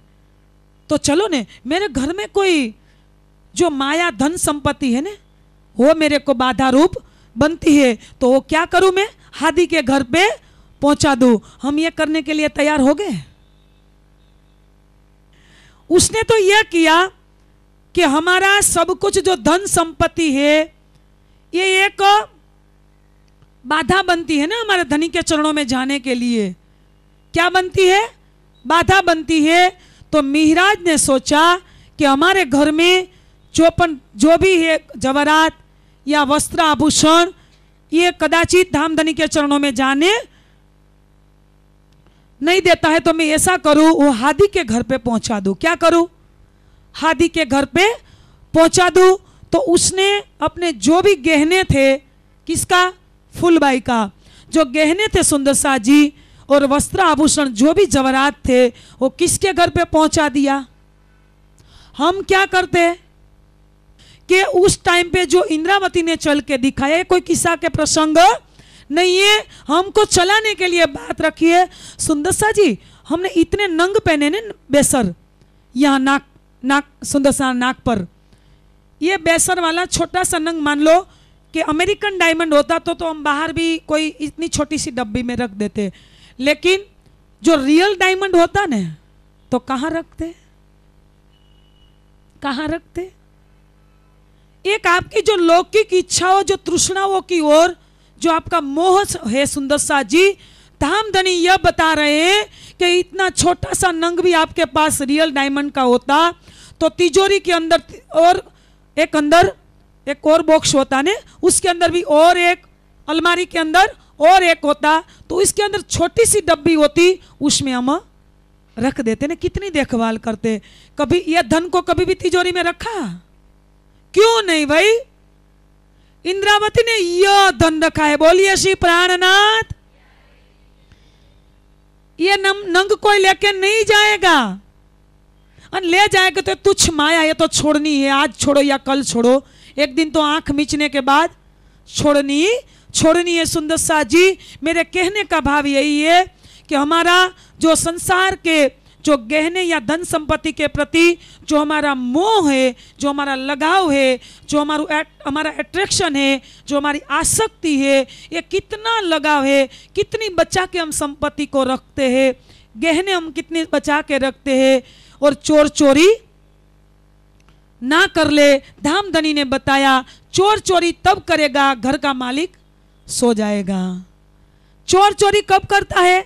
घर का मालिक सो जाता है। तो सुंदर सा जी, ये जाहरी गहने की मैं बात नहीं कह रही हूँ। ये तो चोर चोरी हम सो जाते नींद में, तभी ये करते। लेकिन धामधनी ने वाणी के आधार पर बताया कि तुम्हारे अंदर की जो गुण अंग इंद्रिया है, धामधनी के चरणों में आप नहीं लगाएँगे।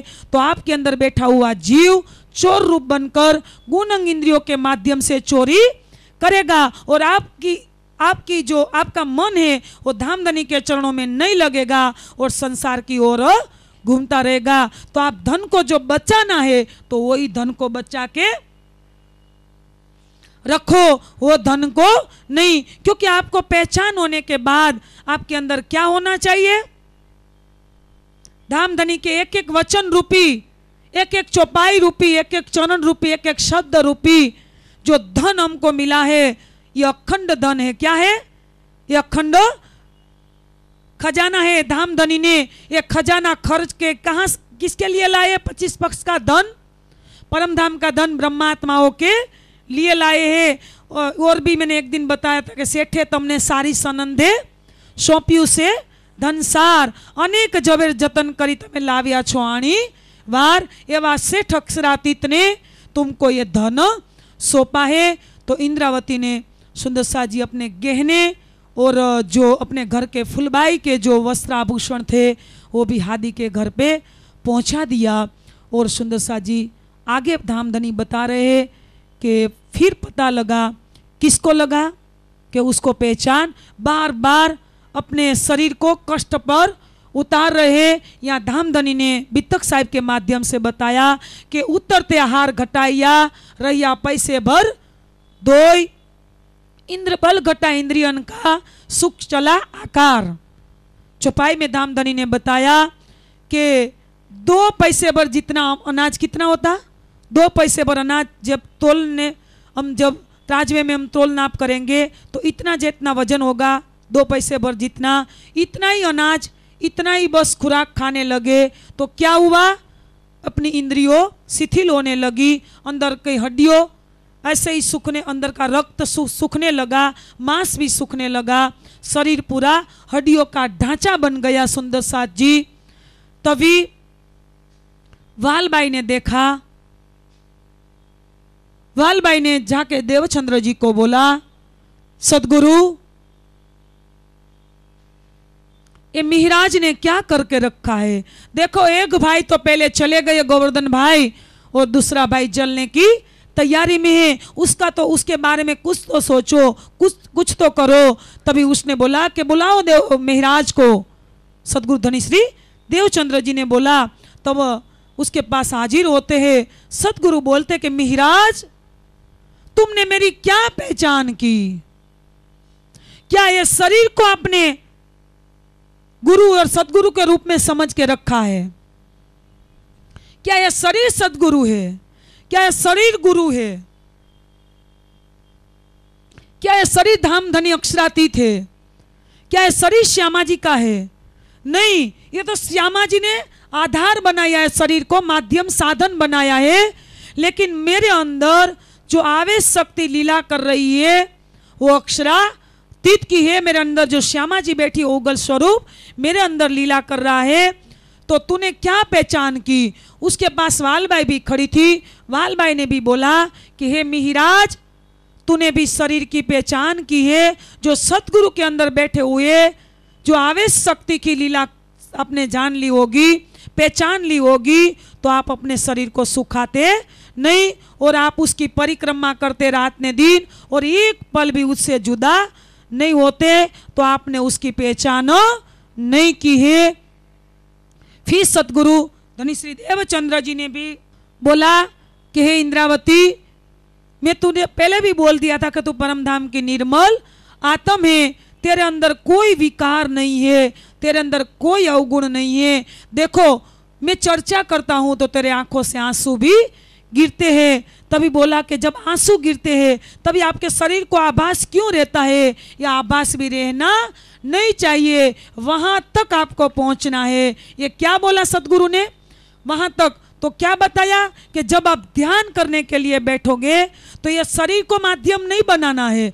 मैं आज पाँच छः दिन से समझाती आ रही हूँ कि पाँच दिन तक चाहे व्रज में कृष्ण के रूप में शरीर धारण किया, चाहे रास में भी ये शरीर धारण किया है, लेकिन अंदर बैठने वाले जो आवेश शक्ति, वो अक्षरातीत की है। जो श्री कृष्ण का जो रूप धारण किया वो अक्षरातीत नहीं है, क्योंकि ऐसे तीसरे दिन में मोहम्मद नाम धारण किया, चौथे दिन में देवचंद्र जी नाम धारण किया और पाँचवें दिन में मिहिराज नाम धारण किया। तो यहाँ भी मिहिराज को पहचान करवा रहे हैं कि हे मिहिराज, तू तो तू तो ये शरीर को ही सदगुरु मानकर बैठ गया था। नहीं, मैं कहीं भी गया नहीं हूँ, मैं यहाँ ही हूँ तो मेरे अंदर सदगुरु के रूप में अक्षरातीत की पहचान कर लो। और आगे सुंदर साथ जी वालबाई ने भी समझाया कि साक्षात धाम के धनी है और यह भी बताया कि पहले भाई आगे चले गए, दूसरे जाने की तैयारी में है। तो और आगे बताया कि भाई उसको एक माया का काम सौंप दीजिए। तो माया के काम के लिए अहमदाबाद भेजते हैं। वहाँ से माए स्वतंत्र पुराण संहिता और संहिता कुमार संहिता ऐसे लेने के लिए कहते हैं मिहराज को, क्योंकि जो मिहराज को एक संसार के प्रति जो वैराग्य उत्पन्न हुआ है, उससे हटाने के लिए, उससे हटाने के लिए और संसार की ओर थोड़ा मन लगे, उसके लिए उसको गुजरात भेजा गया। गुजरात मतलब अहमदाबाद भेजा गया और अहमदाबाद भी चल पड़े। वहाँ से फिर वापस भी आ गए और धामधनी ने आगे बताया कि उसके बाद कहाँ जाएँगे? अरब की धरती पर क्योंकि और माया का काम देंगे तो उसकी सुरता थोड़ी धामधनी के चरणों से हटे और माया की ओर लगे। क्योंकि उसने शरीर को सुखाने, क्योंकि पहचान नहीं की ने हठयोग की ओर उतर गए। तो हठयोग अच्छा नहीं है, उसमें शरीर सूख जाता है। अंदर से भले ही दर्शन तो होता है, लेकिन अंदर इस क्रिया से शरीर सूख जाता है। तो उसको माया की और काम अरब की धरती पर जाने के लिए सौंपा गया। अरब की धरती पर कौन रहते थे सुंदर साथ जी? किसके भाई थे? गांगजी भाई के भाई थे। तो वहाँ कितने साल से गए थे? पच्चीस साल से। कितने साल हो गए? पच्चीस साल से। तो हम परम धाम में कितने पक्ष है हमारे परम धाम में? पच्चीस। परम धाम के कितने पक्ष है? धाम तलाव कुंजवन सोहे मानिक रे वन। की सोए श्री राज श्यामा श्याम राज राज श्यामा श्याम श्री राज श्यामा। श्याम। श्री राज श्याम। पश्चिम चौगान बड़ो वन कहिए। पोखरा जी जमुना जी लई श्री राज श्याम श्याम श्री राज श्याम आठो सागर आठ जिमी के। ए पच्चीस पक्ष धाम धनी के श्री राज राज श्याम श्याम। श्री राज श्याम श्याम। राज श्याम श्याम। श्री राज श्याम श्याम। तो प्रणदास सुंदरसा जी हमारे जो मूल पर आत्म तन जहाँ बैठे हो हमारा असल घर निज घर दिव्य परम धाम। हो, पच्चीस पक्षों में डिवाइड है अलग अलग पक्षों में अलग अलग जो लीला हो रही है, और मध्य में रंग, माहौल है, और नवम दशमी, आकाशी है। तो यहाँ पच्चीस पक्ष, पच्चीस साल से जो चले गए हैं, कौन? खेता भाई, गांगजी भाई के भाई। और और भी एक बताया बातों रूप में कि हमारा शरीर 25 तत्वों से बना है। मैंने एक दिन बताया था 25 तत्वों से बना है। पाँच पंचमहाभूत तत्व, पाँच ज्ञानेन्द्रिय, पाँच कर्मेंद्रिय पाँच सूक्ष्म भूत विष हुआ और चार अंतस्करण चौबीस और पच्चीसवा तत्व, जीव।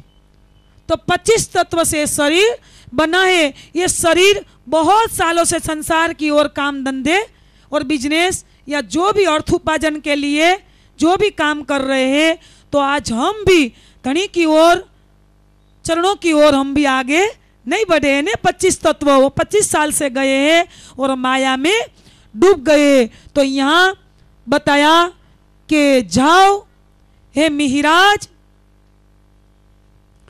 गांगजी भाई के बड़े भाई 25 साल के अरब धरती पर बिज़नेस अर्थ के लिए गए हैं। और कितने साल में हैं सुंदर जी साल क्या थी? 1703 1703 में भेजते हैं और 1708 में वापस आएँगे सुंदर शाह जी। तो बुलाया और 1703 के साल थी और फागुन का महीना था। क्या महीना था?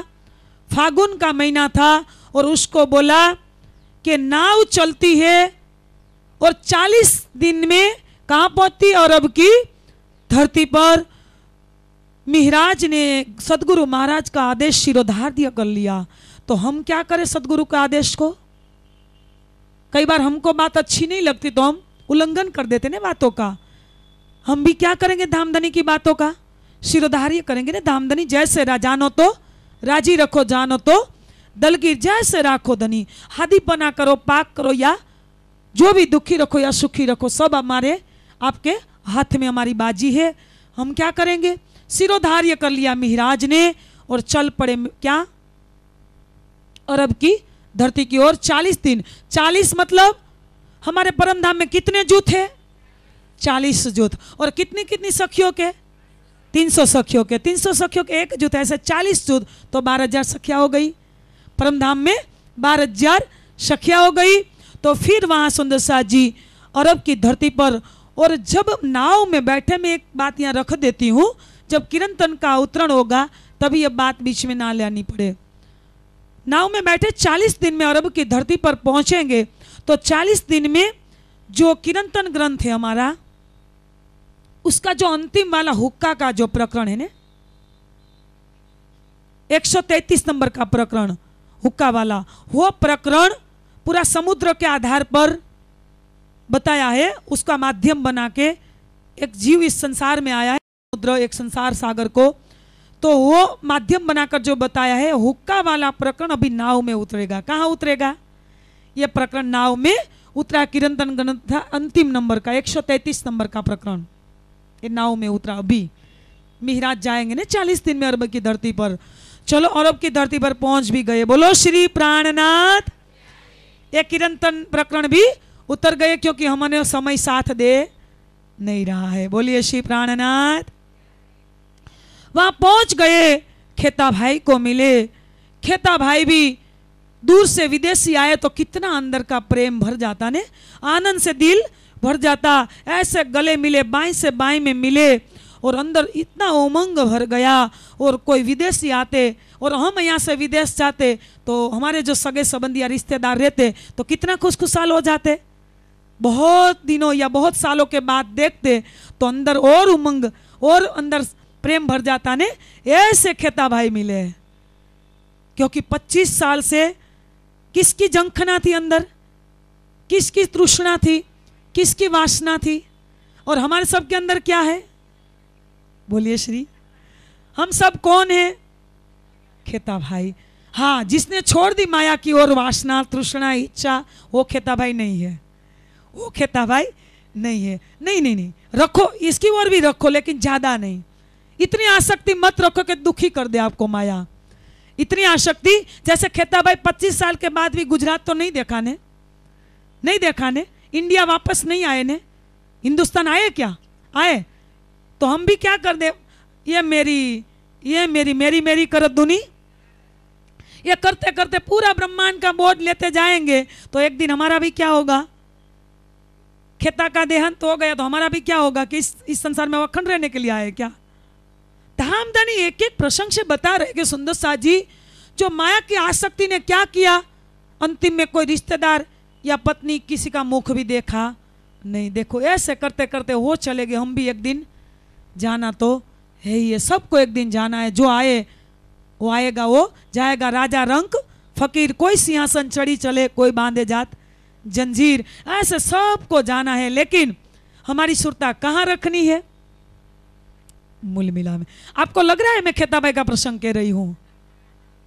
नहीं लगना चाहिए। किसका कह रही हूँ? हमारा चल रहा है। हम इतनी तृष्णा, इतनी इच्छा माया की ओर नहीं करेंगे। हाँ जितनी ज़रूरत, जितनी आवश्यकता है, माया की इतनी करेंगे। दो ड्रेस आ गए साल चल जाएगा। क्या जितनी जल्दी करने की है? चार ड्रेस खरीद ले, दो साड़ी खरीद ले? बोलिए, श्री प्राणनाथ। चलो हम आगे बढ़े, सुंदर साथ जी। खेताबाई बहुत आनंद विभोर होकर मिले उसको। और जो गांगजी भाई ने पत्र लिख कर दिया था। क्या दिया था? पत्र लिखकर खेता भाई को हाथ में दिया। खेता भाई ने पढ़ा भी पत्र। बहुत खुश हुई, खुश हुए, बहुत आनंदित हुए। पत्र पढ़कर तो यहाँ के समाचार, नौतनपुरी, नवानगर के समाचार भी जान लिए। अभी तो मोबाइल आ गए ने। एक दिन मैं बोल रही थी कि, धन्यवाद, आभार तो किसका माने धीरू भाई? अंबानी का ट्वेंटी फोर आवर अनलिमिटेड सुंदर साथ जी, तभी तो ये टेक्नोलॉजी नहीं थी, मैं ये कह रही हूँ। तभी कोई फ़ोन की टेक्नोलॉजी नहीं थी, तभी पत्र का व्यवहार था। मेरा कहने का भाव, पत्र के यहाँ तो एक सेकंड में हम अमेरिका या आउट कंट्री कोई भी जगह हम बात कर सकते हैं ना? तभी ये व्यवहार, ये टेक्नोलॉजी इतनी आगे बढ़ी नहीं थी। तो यहाँ पत्र दिया, पत्र पढ़कर ऐसे खेताबाई खुश हुए और जो अपने पूरा जो गोदाम का कार्यभार था लेन देन का जो भी था, उगाई का जो भी काम था, वो सब किस पर सौंप दिया? वो भार किस पर सौंप दिया? मिहराज कर, मिहराज पर कि भाई हमारे वतन से आए और ये भी हमारे भाई ने भेजा। तो कितना विश्वास, आ जाता, सब काम सौंप दिया उस पर और, मिहराज को लगा क्योंकि वहाँ गांगजी भाई ने पत्र में भी थोड़ा लिखा होगा और वहाँ भी समझाया था, ये बात मैं यहाँ रखती हूँ, क्योंकि क्रम वाइज रखो ने। यहाँ रखा कि जाओ, सदगुरु ने बोला था, मिहराज, जो वहाँ गांगजी भाई 25 साल से गए, वहाँ धन संपत्ति जितनी कमाई है, वो जो वापस आएँगे तो धन संपत्ति सुंदर साथ की सेवा में भी लगेंगे, यहाँ काम आएगी तो आप जाओ और जागनी कार्य में भी काम आएगी। तो यहाँ बात बताई कि चलो मैं किस कार्य से आया हूँ? मिहराज ने सोचा, लेकिन जो जागनी नहीं होती तो सुंदर साथ के अंदर समर्पित, समर्पण का भाव आता? नहीं समझे। मान लो कि आज मंदिरों से जो भी प्रचार प्रसार हो रहा है, मंदिरों का काम क्या है? आश्रम, मंदिर, पूरी, जो भी हमारा स्थान है, उसका काम क्या है? ज्ञान देना और ध्यान कराना, जो भी हो, वहाँ से ज्ञान देना और ध्यान कराना और हमारी जो आध्यात्मिक परंपरा में हमको वारिश जो हम बने हैं तो हमको ये ज्ञान देने का काम उसका रहता है। तो वो ज्ञान देंगे और हमारा काम क्या है? हमारा काम क्या है? सेवा करने का। जो हमारे पास यथाशक्ति, जो हमने आर्थिक, जो अर्थ उपार्जन किए हैं, ये हमारा काम, हम संसार में ना सुंदर साची? तो हमारा काम क्या बनेगा? सेवा करने का, चाहे आर्थिक हो, चाहे मानसिक हो, चाहे शारीरिक हो तो ये काम हमारा बनेगा। तो यहाँ भी मिराज ने सोचा कि मैं जब बात बताऊँगा किसको, क्योंकि जाने के बाद सीधा बोल दे कि दो कमरे लिखवा दो तो क्या लिखवा देते हैं? समझ में आया? बोलिए, श्री प्राणनाथ। जाने के बाद वहाँ बोले कि वहाँ गांगजी भाई के वहाँ बहुत सुंदर साथ एकत्रित हो रहे हैं। तो आप ऐसा करो कि खाने पीने का जो वहाँ राशन का जो भी प्रयोजन का जो भी खर्च हो रहा है, बहुत सुंदर साथ की भीड़ हो रही है तो वहाँ खर्च में गांगजी भाई अकेले पहुँच नहीं पा रहे तो आप ऐसा करो, थोड़ी धन संपत्ति मेरे को दे दो और मैं यहाँ से निकल जाऊँ और हिंदुस्तान वापस चला जाऊँ। ऐसा करते तो क्या? खेता भाई को विश्वास आता? तो क्या किया? पहले जाके क्या की? चर्चा की। क्या की? चर्चा की कि भाई बहुत टाइम से उसने चर्चा नहीं सुनी है। तो वहाँ जाके पहले चर्चा प्रारंभ की, पर यहाँ बताया धाम धनी के, कि जैसे घड़े होते, मटके होते, उस पर घी डाल दो, उस पर फिर पानी गिराओ तो पानी टिकता या नीचे गिर जाता? हम कैसे? नहीं नहीं, आप तो बहुत अच्छे हो। अरे, बारह दिन से इतनी एकाग्रता के साथ, मैं तो रोज बोलना भूल जाती हूँ, आज बोल दो। आप कितने मेरे को सहन कर रहे हो, ये तो बहुत है। दो दो घंटे कल परसों भी विजया बहन बोल रहे थे कि ज्योत्ना बहन आप हमको सहन कर रहे हो या हम आपको सहन कर रहे मैंने बोला आप बहुत अच्छे सुंदर साथ हो मेरे बहुत लाडले सुंदर साथ हो बहुत प्यारे सुंदर साथ हो कि मेरे को दो दो घंटे आप सहन कर रहे हो। कई बार तो आधे आधे घंटे और ले लेती हूँ तो ढाई ढाई घंटे सहन करते हो। तो सुंदर साथ जी आप तो बहुत अच्छे हो। लेकिन खेता भाई का तो एक, एक प्रमाण दिया कि ऐसी तरह चर्चा तो करते रहे मिहिराज, लेकिन उसने बताया कि जैसे चिकने घड़े पर पानी नहीं टिकता, जैसे गिरा हो नीचे, गिर जाता, जैसे ऊपर पानी रखा हो नीचे गिर गया, ऐसे उसके अंदर छाट न लगी। मिस, अंदर मतलब ये जो वाणी चर्चा सुना रहे थे, वो अंदर सुगंधी नहीं गई।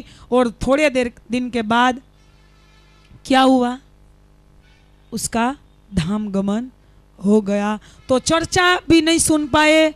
उसके घर पे स्वयं कौन लेने के ले गए?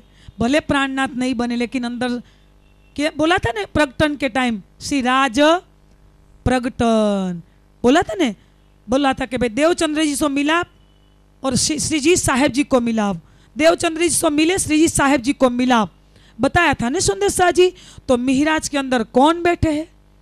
श्री जी साहेब अक्षरातीत श्री जी साहेब मतलब हिंदू परंपरा में सॉरी हिंदू मान्यता, हिंदू पद्धति में सुंदर शाह जी, जो हमारे शास्त्रों और वैदिक परंपरा में, हिंदू में, श्री जी वैदिक परंपरा को मान्यता के आधार पर कहा गया है और साहेब, जो कतब परंपरा है, इस्लामिक जगत की कतब परंपरा है, उसकी जो पद्धति के मान्यता के अनुसार साहेब कहा गया है। क्या कहा गया है? साहेब, श्री जी हिंदू मान्यता के आधार पर है तो धामधनी ने वाणी में भी तीन बार श्री श्री जी साहेब शब्द आए। कितनी बार?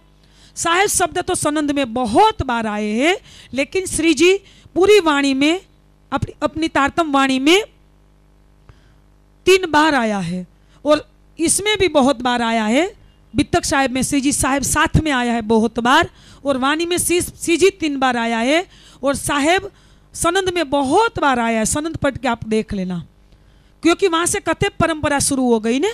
अभी औरंगज़ेब बादशाह को जगाना है। वहाँ कृष्ण के रूप में वो जगेंगे। नहीं, वो नाम लेंगे।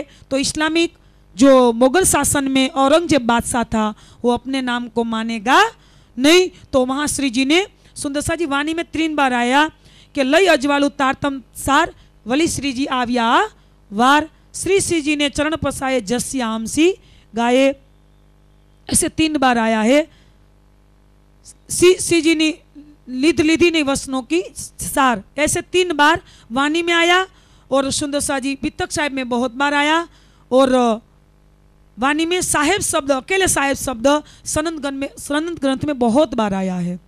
तो यहाँ भी बताया कि जब बात करने लगे तो सामे, सामने वाले तन में अक्षराती स्वयं लीला कर रहे, सामने गए देखो, लेकिन माया में मस्त रहे तो धामधनी की पहचान नहीं हो पाई। इतने में उसका धाम गमन हो गया और उसका जो पूरा धन संपत्ति का, जो गोदाम का, सब जो था लेन देन का, सब जो भार था, पहले तो मिराज के सिर पर उत्तरदायित्व तो सौंप के गए थे, लेकिन शेख सलाह जो वहाँ के हाकिम हैं, शेख सलाह उसको पता लग गया कि उसके जो मूल मालिक था खेता भाई, पच्चीस साल से जो यहाँ रह रहा था, वो तो उसका तो धाम गमन हो गया है तो उसने क्या कर ली?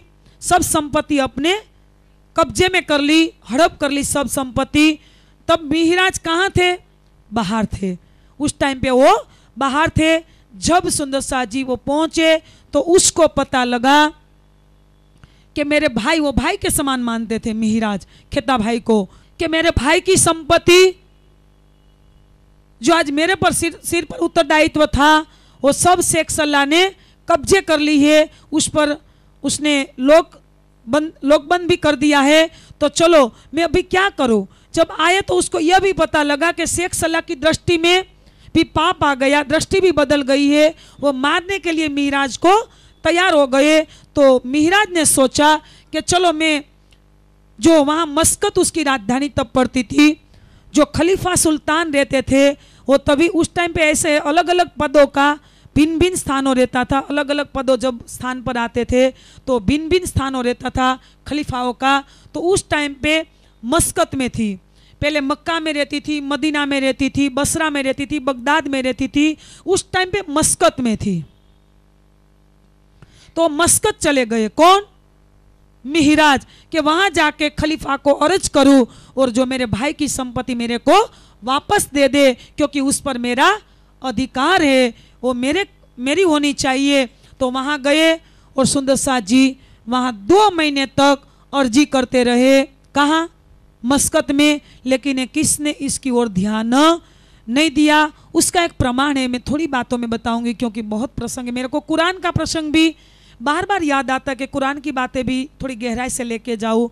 क्योंकि एक सुंदर साथ बोलते थे कि, दीदी, कुरान की बातें आए तो अभी थोड़ा गहराई से लेना, समझना है, लेकिन समय नहीं है।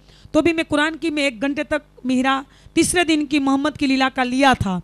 आज मैं थोड़ी बात रखूँगी, लेकिन दिल्ली के प्रसंग में कुरान की बात ज़्यादा आएगी। तभी समय पर हम विस्तार से लेंगे, थोड़ी बात रखूँगी। जब मोहम्मद साहिब का अंतर ध्यान हुआ, उसके बाद उसके जो चार अनुयायी थे, उसके नज़दीक के अबूबकर, उस्मान, अली और उमर, चार थे। कितने? चार यार नजीक के थे, अबूबकर, उस्मान, अली और उमर। तो उसके बाद जब मोहम्मद साहिब का अंतर ध्यान लीला के बाद अली को, हज़रत अली को ये गद्दी पर, उसके पद पर हो बैठे और वो उनतीस साल तक रहे, क्योंकि पहले से भविष्यवाणी कही गई थी, उसके आधार पर ही हो रहे। तो उनतीस साल तक वो हज़रत अली रहे। उसके बाद सुंदर साथ जी मुवावियों का बहुत ज़ोर वहाँ था। तो उसके बाद जो हज़रत अली के एक जो हसन है हसन है और हुसैन है, दो है। तो उसमें हसन ने इस्तफिया किया और उसके बाद जो हुसैन था, सुंदर शाह जी, उसने उसके जो साथियों थे, उसके साथ उसकी भी कत्ल हो गई। किसके साथ? तो जो मुवावियों का स्थान था मुवावियों के एक लड़के थे, मस्जिद। मस्जिद ने हुसैन का और हुसैन के साथ जो उसके साथियों थे, उसका भी कत्ल करवा दिया। तो कत्ल के बाद वहाँ बहुत रक्तपात की, पूरा इतना वो चल पड़ा। पूरा स्थान में तो उसके बाद वो जो स्थान पहले मक्का रहता था मैंने बताया ना तो उसके बाद बदलता रहा। ये आ, ये मुआवियों का स्थान जब ज़ोर पकड़ा तभी तो उसके बाद सुंदर साथ जी मक्का के बाद मदीना रहा इसके बाद बसरा रहा इसके बाद बगदाद रहा। लेकिन जब महराज गए कहाँ? अरबस्तान तब ये मस्कत था खलीफाओं का स्थान खलीफाओं का स्थान। तब मस्कत था, सुल्तान का स्थान तो वहाँ मिले, लेकिन दो महीने तक तब चक्कर लगाई, वहाँ जवाब नहीं मिला। फिर निराश होकर वापस लौट रहे थे। क्या कर रहे थे? वापस लौट रहे थे तो धनी ने अपने जोश के रूप में अरब का एक रूप ले लिया और उसने एक पत्र लिखकर किसको दे दिया? मिहराज को दे दिया। और धामधनी सुंदर साज, ये प्रसंग नहीं है।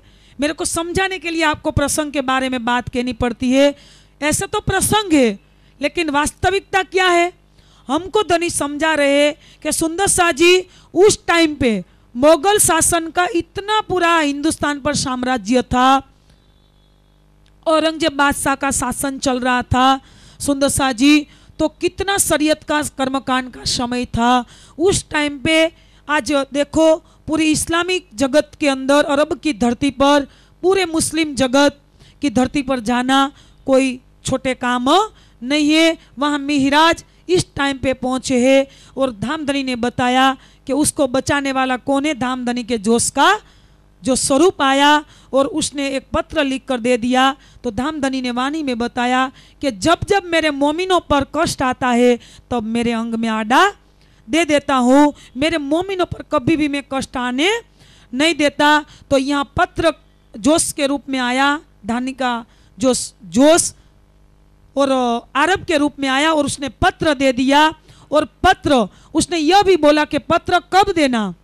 तो बोला कि जब ईदगाह के अंदर आप जाएँगे, मस्जिद के अंदर जाएँगे, शुक्रवार जुमे का दिन होता ने, तभी बादशाह नमाज़ पढ़ने के लिए जाता। तभी आप ऐसा करना कि बादशाह नमाज़ पढ़ने के लिए जाए, तभी आप क्या करना? उसके जामे की, जो नीचे की वो है होती है, वो खेच खींचना। कस तो सुंदर जी, जब बादशाह नमाज़ के लिए ईदगाह की ओर चल, जब चलने पड़ा, निकला, तभी रास्ते में कौन खड़ा रह गया? मिहराज, उसने बादशाह की कस खींची, जामा खींचा तो कस टूट गई उस टाइम पे। तो इंतमाम था जोरावर। आसपास जो उसके प्रोटेक्शन के लिए कौन होते? उसके जो सिपाही होते, ऐसे पूरा जोरावर आसपास की रक्षा के लिए भी खड़े थे। उस तो अंदर से क्रोध आ गया उसके लोगों के अंदर। और उसने सीधे मिहराज को ऐसे खींचने के लिए तैयार हो गए। लेकिन बादशाह ने बोला कि भाई, आपको उसको खींचना नहीं, मैं उसका जवाब दूँगा। मैं उसका, उसको क्या काम है? फिर उसने मिहराज को पूछा कि आप मेरे बादशाह ने पूछा कि मेरी कस खींचने की, मेरा जामा खींचने की आपको क्यों ज़रूरत पड़ी? तब उसने तभी तो बताया कि मैं दो महीने तक आपके दरबार में घूमता रहा, लेकिन वहाँ जवाब नहीं मिला। तो आज मैं परेशान होकर अंतिम में मेरे को यह काम करना पड़ा है, फिर बादशाह ने पूछा, हिंदुस्तान के बारे में भी पूछ रहे, फिर पूछा कि क्या काम है? तब उसने बोला कि मेरे भाई, जो खेता भाई है, उसकी संपत्ति शेख सलाह के हाकिम ने जब्त कर ली है, अपने कब्जे कर लिए तो मेरे को वापस चाहिए। फिर इलाही कल में, क्या? इलाही कल में बोले। उसने बोला कि हे बादशाह, देखो तभी अंदर का जोश बुलवा रहा था ने कि हे बादशाह, जो आज मेरे को मेरी भाई की धन संपत्ति का आप न्याय नहीं करेंगे तो जब रोज़े महसर जब न्याय का दिन आएगा, इलाही कलमे में बोला ने, तब मैं आपका दावन पकड़कर, मैं आपका कब रोज़े महसर न्याय के दिन जब खुदा ताला, अल्लाह ताला न्यायाधीश बनकर तख्त पर बैठेगा, तभी आप जो कहीं भी होगे तो मेरा दावन पकड़कर मैं आपका न्याय करवाऊँगा और मेरी जो संपत्ति है, उसका अधिकार मैं तभी मांगूँगा। तो ऐसा करो कि हे बादशाह, मेरे को मेरा अधिकार चाहिए, मेरी संपत्ति वापस चाहिए। तभी बादशाह ने बोला कि ऐसे खुदा ताला के, ऐसे इलाही कलमे, ऐसे इलाही इलम अब तक तो कोई जोश में बोलने वाला मेरे सामने आया नहीं है। ये तो खुदा ताला के ही ये कलाम है। तो चलो, मैं उसका काम पक्का करूँगा और बादशाह अपने तभी तो उसका पता कुछ नहीं लिया, एड्रेस भी कुछ नहीं लिया, अपने दरबार में वापस चला गया। फिर सुबह को, दूसरे दिन प्रांत काल को याद आया। उसने अपने नज़दीक के सिपाहियों को बोला कि जाओ जो कल मेरे जामे की दावन की कस खींच कर तोड़ दी थी, उस व्यक्ति को बुला के लाओ और अपने शहर में पूरे ढंढेरे पिटाओ और उसको बोलो कि हमारी जो बादशाह है, उसकी कस दावन किसने खींचा था? तो फिर उसका सिपाही निकला और शहर में ढंढेरे भी पिटवाए और मिहराज भी रास्ते में खड़ा था। उसने बोला कि मैं था। तभी दोनों सिपाहियों ने हाथ पकड़कर बंदी बनाकर कहाँ ले गए? बादशाह के पास ले गए और वहाँ जाके उसने बोला, एक हुक्मनामा भी लिख दिया। और अपने सिपाही को बोला कि, जाओ, शेख शल्ला को बोलो कि उसकी जो संपत्ति उस पर उसका, उसके भाई की जो संपत्ति है उस पर उसका अधिकार है। किसका? मिहराज का है। उसको बोलो कि, सब संपत्ति उसको दे दे, क्योंकि जो नहीं देगा तो मैं उसको जड़ मूल से उखाड़ दूँगा। ऐसा हुक्मनामा लिख के किसको दिया?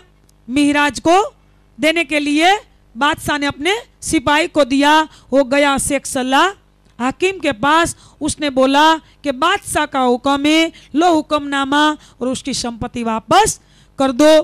तो सुंदर शाह जी उसकी संपत्ति भी उसको दे दी, लेकिन अंदर शेख सल्लाह के अंदर अंदर की ईर्षा अग्नि, अभी शांत नहीं हो पाई थी। उसने क्या सोचा कि भाई हिंदुस्तान के लोग हमारी अरब की धरती की संपत्ति लेकर चले जाए। यह मेरे लिए सहनीय नहीं है। तो उसने गोदाम में जो था, संपत्ति रात को रखी गई थी, उसमें आग लगा दी। तो संपत्ति जल कर राख हो गई। जो बची थी, यहाँ नवानगर नौतनपुरी में पत्र भेज दिया था, जब खेताबाई धाम चले तो यहाँ सदगुरु धनीश्री देवचंद्र जी, वालबाई बिहारी, सबको पता लग गया। और गांगजी भाई ने और सतगुरु ने किसको भेजा? श्याम जी और बिहारी जी को अरब की धरती पर भेजते हैं, सुंदर साथ जी। ये कोई किस्सा नहीं है, मैं आगे बताऊँगी। प्रसंग जोड़ने के लिए मैंने थोड़े किस्से के रूप में आपको बात बताई, क्योंकि जो नीति की कमाई हुई संपत्ति होती ने, यहाँ क्या बताया इस प्रसंग में? जो अपनी नीति की, नीति के कथन में कौन था, सुंदर शाह जी? हमारे इतिहास के पन्ने पर कौन थे? चाणक्य। बोलिए श्री प्राणनाथ। चाणक्य चाणक्य नीति में मैं एक दिन चाणक्य और चंद्रगुप्त मौर्य की बात रखी थी सुंदर साथ जी। अभी मैं आगे भी रखूँगी तक्षशिला विश्वविद्यालय में। अभी तो पाकिस्तान में चला गया। वहाँ उसने अध्ययन किया था, वहाँ शिक्षा ली थी। ऐसे चाणक्य नीति में अग्रग्रणीय थे सुंदर शाह जी। वो नीति के सिवा मैंने एक दिन बताया था ने कि किसी की धन संपत्ति पर हमारा अधिकार नहीं है। और कोई माता जो होती और किसी की बहन होती, वो उसको माता समान या बहन समान माने। उस पर हमारी दृष्टि बदलनी नहीं चाहिए। मैंने एक प्रमाण भी दिया था कि मातृवत पर दारेशु पर द्रवेशु लोष्ठवत। तो यहाँ भी बताया कि नीति की कमाई हुई जो संपत्ति होती है, उस पर ही हमारा अधिकार रहता है, वही हमारे घर में आ सकती है। लेकिन अनिति से कमाया हुआ धन हमारे घर तक, पवित्रता की कमाई हमारे घर तक पहुँचती है। तो आज सब आत्माओं को अंदर जो जीव बैठा है, वो जीव भी कई बार, ये प्रसंग नहीं था। मैंने सिर्फ़ प्रसंग को जोड़ा है। मैं रोज बोलती हूँ, मैं वितक नहीं करती हूँ। प्रैक्टिकल हमारे पर, जीवन पर तोलना है। तभी तो हमारी आत्मा उस राह पर चलेगी। ये प्रसंग नहीं है। सुंदर शाह जी आज हम पण क्या करते हैं कि एक बिज़नेस पर या कोई भी दुकान शॉप पर हम हमारा जो भी बिज़नेस हो ए टू जेड मान लो ने तो उस कमा उसमें हम कमाने के लिए जब बिज़नेस पर बैठते हैं तो एक काम के बहाने हम दस बार झूठ बोलते हैं, गलत बोलते हैं। तो मान लो हमने कर्म के तो बंधन बाँध लिए ने, एक काम के बहाने हम दस बार झूठ बोलते ने तो मान लो ऐसे एकत्रित किए हुए धन जब घर में आते तो ये शांति लेने देते क्या? अब आप गांगजी भाई के प्रसंग से या खेता भाई का जो उसका भाई है, उसके प्रसंग से क्या लेना है सीख? सुंदर साजी जितनी धानी ने नसीब में लिखी हमारे, नियत में, हमारी नियत में जो धन संपत्ति लिखी है तो उसको पता है ब्रह्म सृष्टि को कैसे घर चलाना, ये जीव को कैसे घर चलाना, और उसको कैसे इस संसार में रखना और कैसे छत्रछाया में रखना? क्योंकि यहाँ के पति को हमारा चिंता और टेंशन रहता है। तो जैसे समर्थ ऐसे सदा सत्सुख के दाता, रोज मंत्र में बोलते हो ने? सदा सत्सुख के दातार ऐसे समर्थ अक्षरातीत को पता नहीं है कि मेरी ब्रह्म सृष्टि कैसे घर चलाएगी। समझ गए? तो मैं सब आत्माओं को बोलती हूँ कि बस मन वचन कर्म से सत्य बोले, सत्य का आचरण करे और मन वचन कर्म से सत्य पर चले। और मैंने कल भी बात रखी थी कि प्रिय, सत्य प्रिय और हितकारी वाणी बोले। और नीति की बात बताती हूँ तो सब आत्माओं को और जो इसके अंदर जो जीव बैठकर काम कर रहा है, वो भी अपनी नीति का जो कमाया हुआ धन, पवित्रता का कमाया हुआ धन ही घर में लाए, क्योंकि यहाँ बताया कि अपवित्रता की कमाई की धन संपत्ति किसी के काम में आई नहीं। तो यहाँ श्याम जी और बिहारी जी आ गए। सुंदर शाह जी, उसने क्या किया? जब ये आए तो मिहिराज तो अंदर पवित्र थे ने? उसके दिल तो पवित्र थे तो आने के बाद जो पहले से वो हिसाब किताब लेन देन जो कार्यभार सिर पर सौंपा था, वो बिहारी जी और श्याम जी के आगे रख दिया और उगाई का। अभी जो बाकी था काम, को किसी के पास पैसा लेने का, वो काम का हिसाब किताब भी आगे रख दिया और आगे जो शेख सल्लाह के पास कैसे धन संपत्ति फिर प्राप्त की कैसे कैसे मेहनत की, कैसे खलीफा के पास गए, वो भी बात दोनों के सामने सब सफ़ाई दे दी। क्या की? सब सफ़ाई, क्योंकि उसका दिल तो पवित्र था ने। तो चाणक्य जैसी नीति होनी चाहिए। जैसे मिहिराज ने अंदर बैठे हुए मरु के जीव ने जो सुंदर सा जी सफ़ाई बताई, देखो, अंदर का कोई कटुता, कोई द्वेष, कोई अंदर भेदभाव नहीं रखा। और सब हिसाब किताब और जो धन संपत्ति बची उसके हाथ में आई, जो गोदाम में आग लगाई, सब बात उसके सामने रख दी। उसको पता था कि वहाँ जाके क्या होगा। लेकिन बिहारी जी और श्याम जी के अंदर का जो कटुता का व्यवहार था, मिहराज के प्रति वो अंदर की दुचिताई गई। नहीं सुंदर सा जी वो जब पहुँचे, जो बची हुई धन संपत्ति लेकर पहुँचे तो कई कई वित्तकारों ने तो लिखा है कि रास्ते में, जहाज़ में भी डूब गई, वहाँ गोदाम में आग लग गई, कई शेखशला ने ले ली। थोड़ी बची वो राजकोष में, जामनगर में, जाम राजा के राजकोष में चली गई। लिखा है, सब वित्तकारों का अलग अलग विचारधारा है, लिखा है। लेकिन लालदासी महाराज ने यह नहीं बताया, उसने ये बताया हाँ उसने ये बताया कि वहाँ चुगली राज दरबार में बालबाई ने कर दी सुंदर साथ जी ये तो लिखा है पक्का। लेकिन ये चुगली भी कब लिखी है? जब धन एकत्रित करेंगे ना, तभी वह चुगली की है। यहाँ हाँ वृतांत मुक्तावली में लिखा है व्रजभूषण दास जी ने भी लिखा है कि सुंदर शाह जी, जब श्याम जी बिहारी जी आए तो अपने दिल का जो पाप था, अपने दिल का जो पाप था, वो ढक दिया और उसने बोला कि मिहराज ने, खेताबाई की सब धन संपत्ति हड़प कर ली है, क्योंकि वो दोनों छिप गए और मेहराज को बाहने, मेहराज पर बहाना रख दिया सुंदर शाह जी। आने के बाद सदगुरु और गांगजी भाई को बताया, लेकिन गांगजी भाई माने नहीं, क्योंकि मिहराज की पवित्रता को कौन जानते थे? गांगजी भाई और सदगुरु अंदर दिल की सफ़ाई को जानते थे सुंदर शाह जी। दिल के अंदर की पवित्रता को जानते थे, उसने माना नहीं तो वहाँ काम तो नहीं चला। तो फिर बिहारी जी और श्याम जी ने वालबाई पास जाकर और चुगली और कान भंबेणी क्या की कि वालबाई अभी मिहिराज जो धन संपत्ति बची वो लेकर आ रहा है तो आप ऐसा करो वालबाई को कान भंबेणी कर दी और काल वालबाई ने सुंदरसा जी क्या लल्लू जी भट्ट ने वर्तमान दीपक अपने आलिंद्रा वाले हैं ना जो लल्लू जी भट्ट उसने वर्तमान दीपक में लिखा है कि लालदासी ने नहीं लिखा मैंने बता दिया ना पहले भी उसने भी लिखा और मैंने बोला कि व्रजभूषण दासी ने वृत्तांत मुक्तावली ने भी लिखा है कि उसने वो वालबाई को कान भर दिया।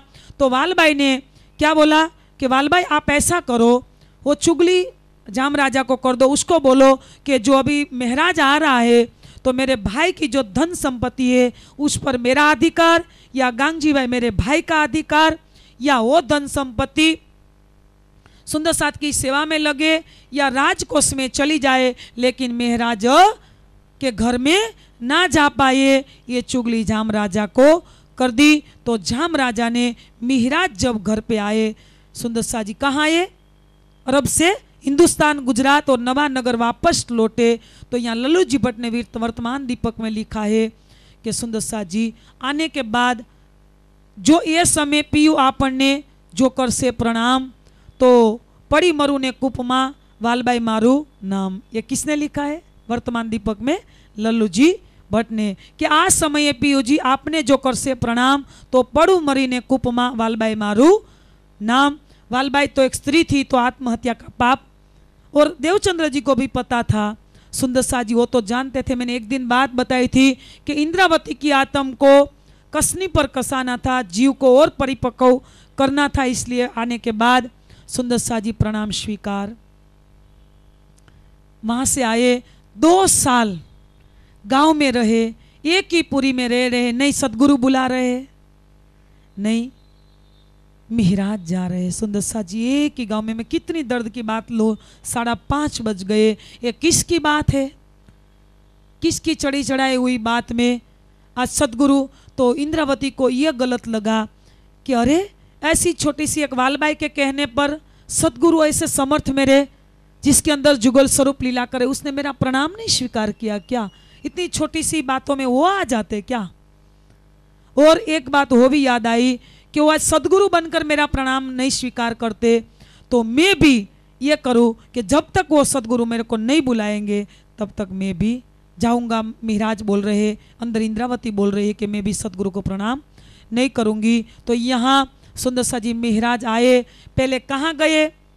जब राज दरबार के लोगों को चुगली कर दी थी तो यहाँ उसको एक नज़रबंद कर लिया, कैद कर लिया, जब्त कर लिया और वहाँ जाके उसको पूछ परस भी की, लेकिन पता लग गया कि संपत्ति, क्योंकि सफ़ाई बता दी ना महाराज ने कि मैंने हड़प नहीं की। ऐसे ऐसे वहाँ सेक्स लाने ली, गोदाम में आग लग गई, फिर राज बिहारी जी और श्याम जी लेके गए तो उसको छोड़ भी दिया, मुक्त कर दिया मेराज को। और दोनों एक गाँव में रह रहे, बुला भी नहीं रहे।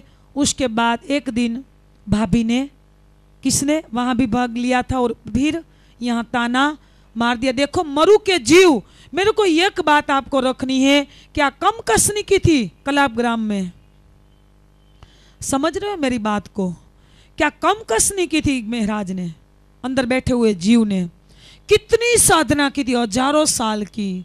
उसके बाद आज धामधनी ने जो लीला करनी अक्षरातीत ने अभी भी कितना कसा रहा है देखो। धामधनी उसके जीव को।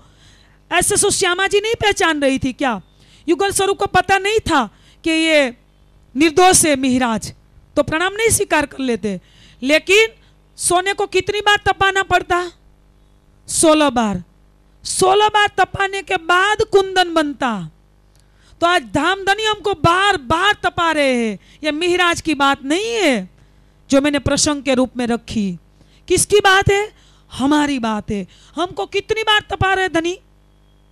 आज बारह दिन से तो एक एक बातों को लेकर एक एक प्रसंग को लेकर कई कई चोट मारी कई कई खंडनी के वचन किए और भी आगे कहेंगे, किए ना धनी धाम धनी ने?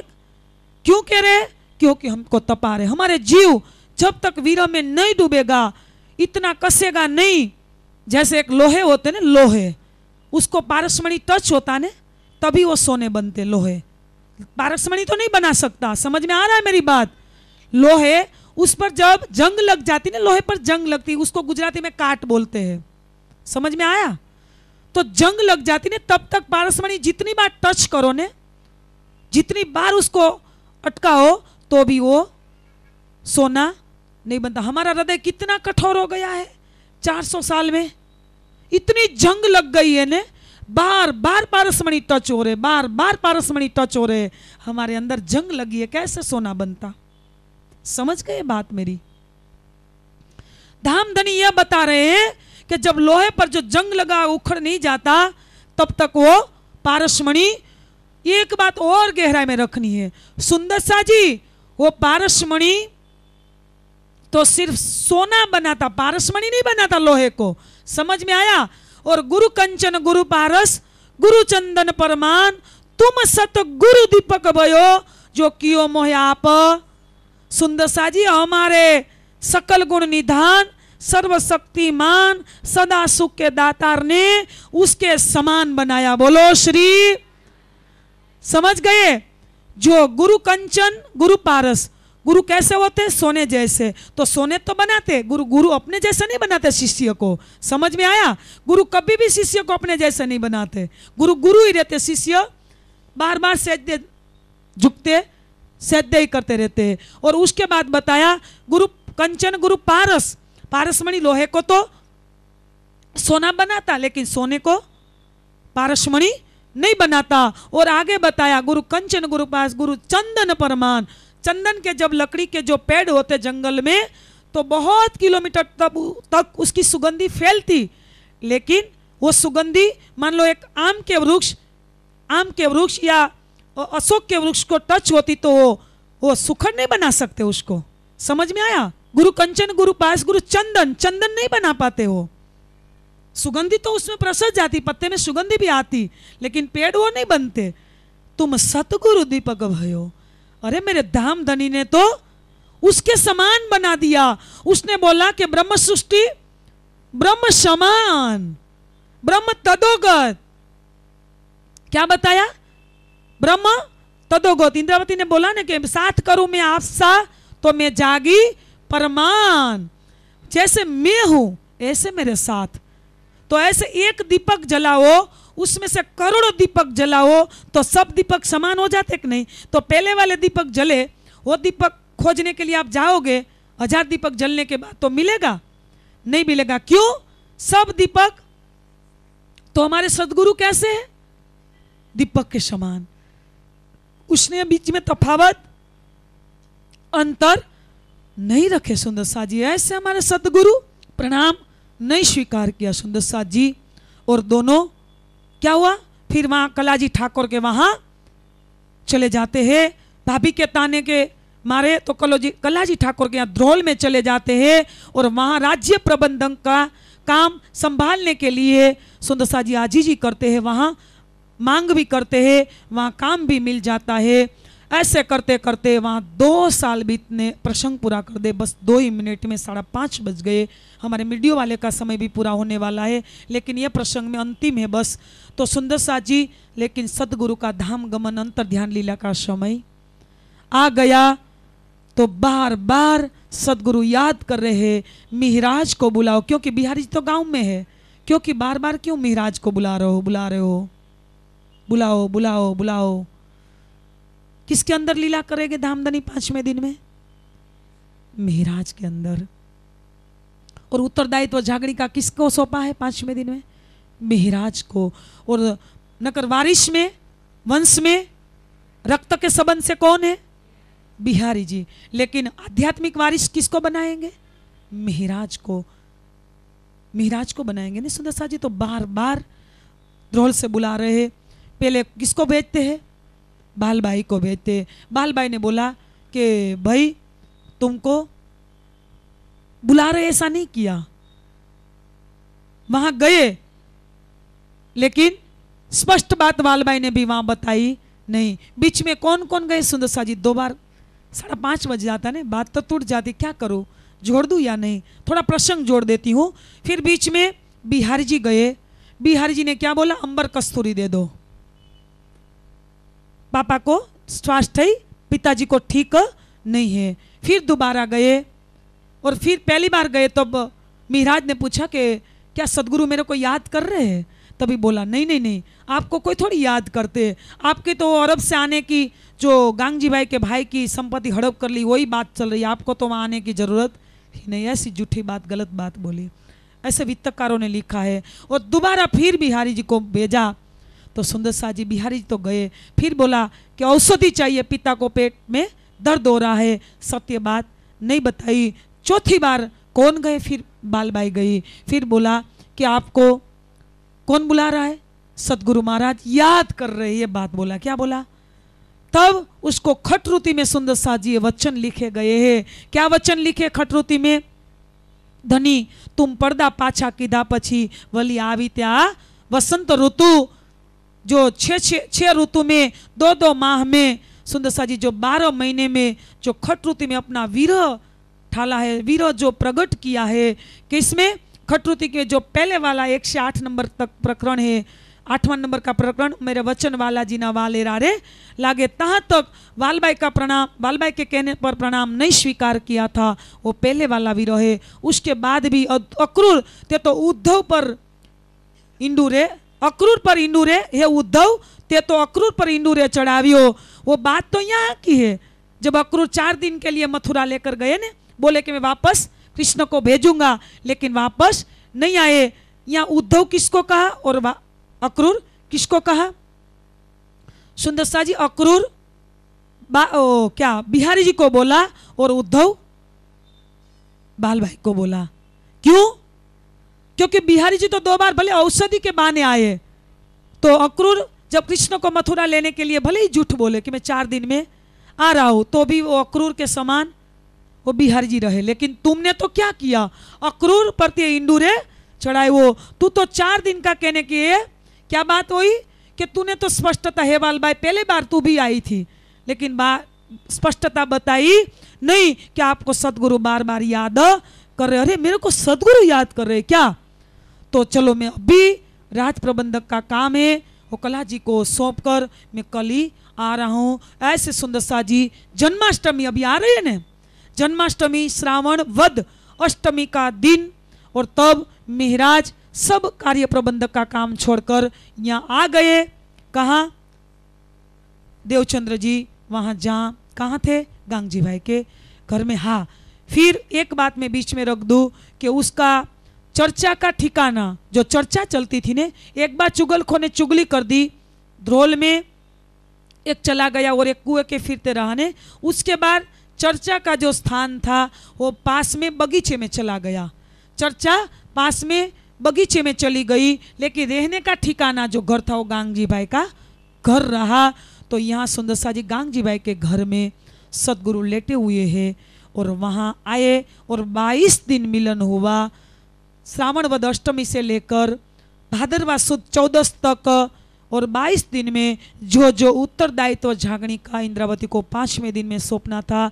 बारह हज़ार आत्माओं को जगाने का जो सुंदर सा जी काम था, वो सब 22 दिन का काम भी सुंदर सा जी 22 दिन में सब काम सौंप दिया और क्या कौन कौन आए उसको जगाना सकुमार सकुंडल की बात भी बताई और 22वें दिन 22वें दिन इंद्रावती को अपने घर भेज दिया मिहराज को और बुधवारी मध्य रात भई धनी भये अलख, भादरवा सुद, चौदस बुधवार मध्य रात्रि को बिहारी जी को कई सनंद, थोड़ी, थोड़ा ही पता लगा, मिहराज को पता नहीं रहा, दूसरे दिन पता लगा, ऐसे विक्रम सन सत्रह सौ बारह में चौथे दिन की लीला पूर्ण हुई और पाँचवें दिन की लीला में हम सुंदर सा जी अभी अंतर ध्यान लीला तो अंतिम में होगी, लेकिन यहाँ थोड़ी लीला बता दी, क्योंकि बुला लिया 22 दिन तक बात चली, एक बार तो बात यहाँ रख दी, लेकिन अंतिम में फिर यहाँ बताएँगे,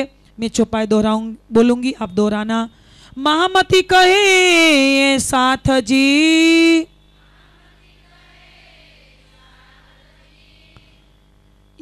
नौ, ये नौतनपुरी की बीताक याद करो इन समय को। शोभान देऊ सब शक। शोभान देऊ सब शक। बोलिए, श्री प्राणनाथ, श्री सतगुरु, धाम के स्वामी श्री लालदासी तीनों पुरी समस्त सुंदर प्रणाम।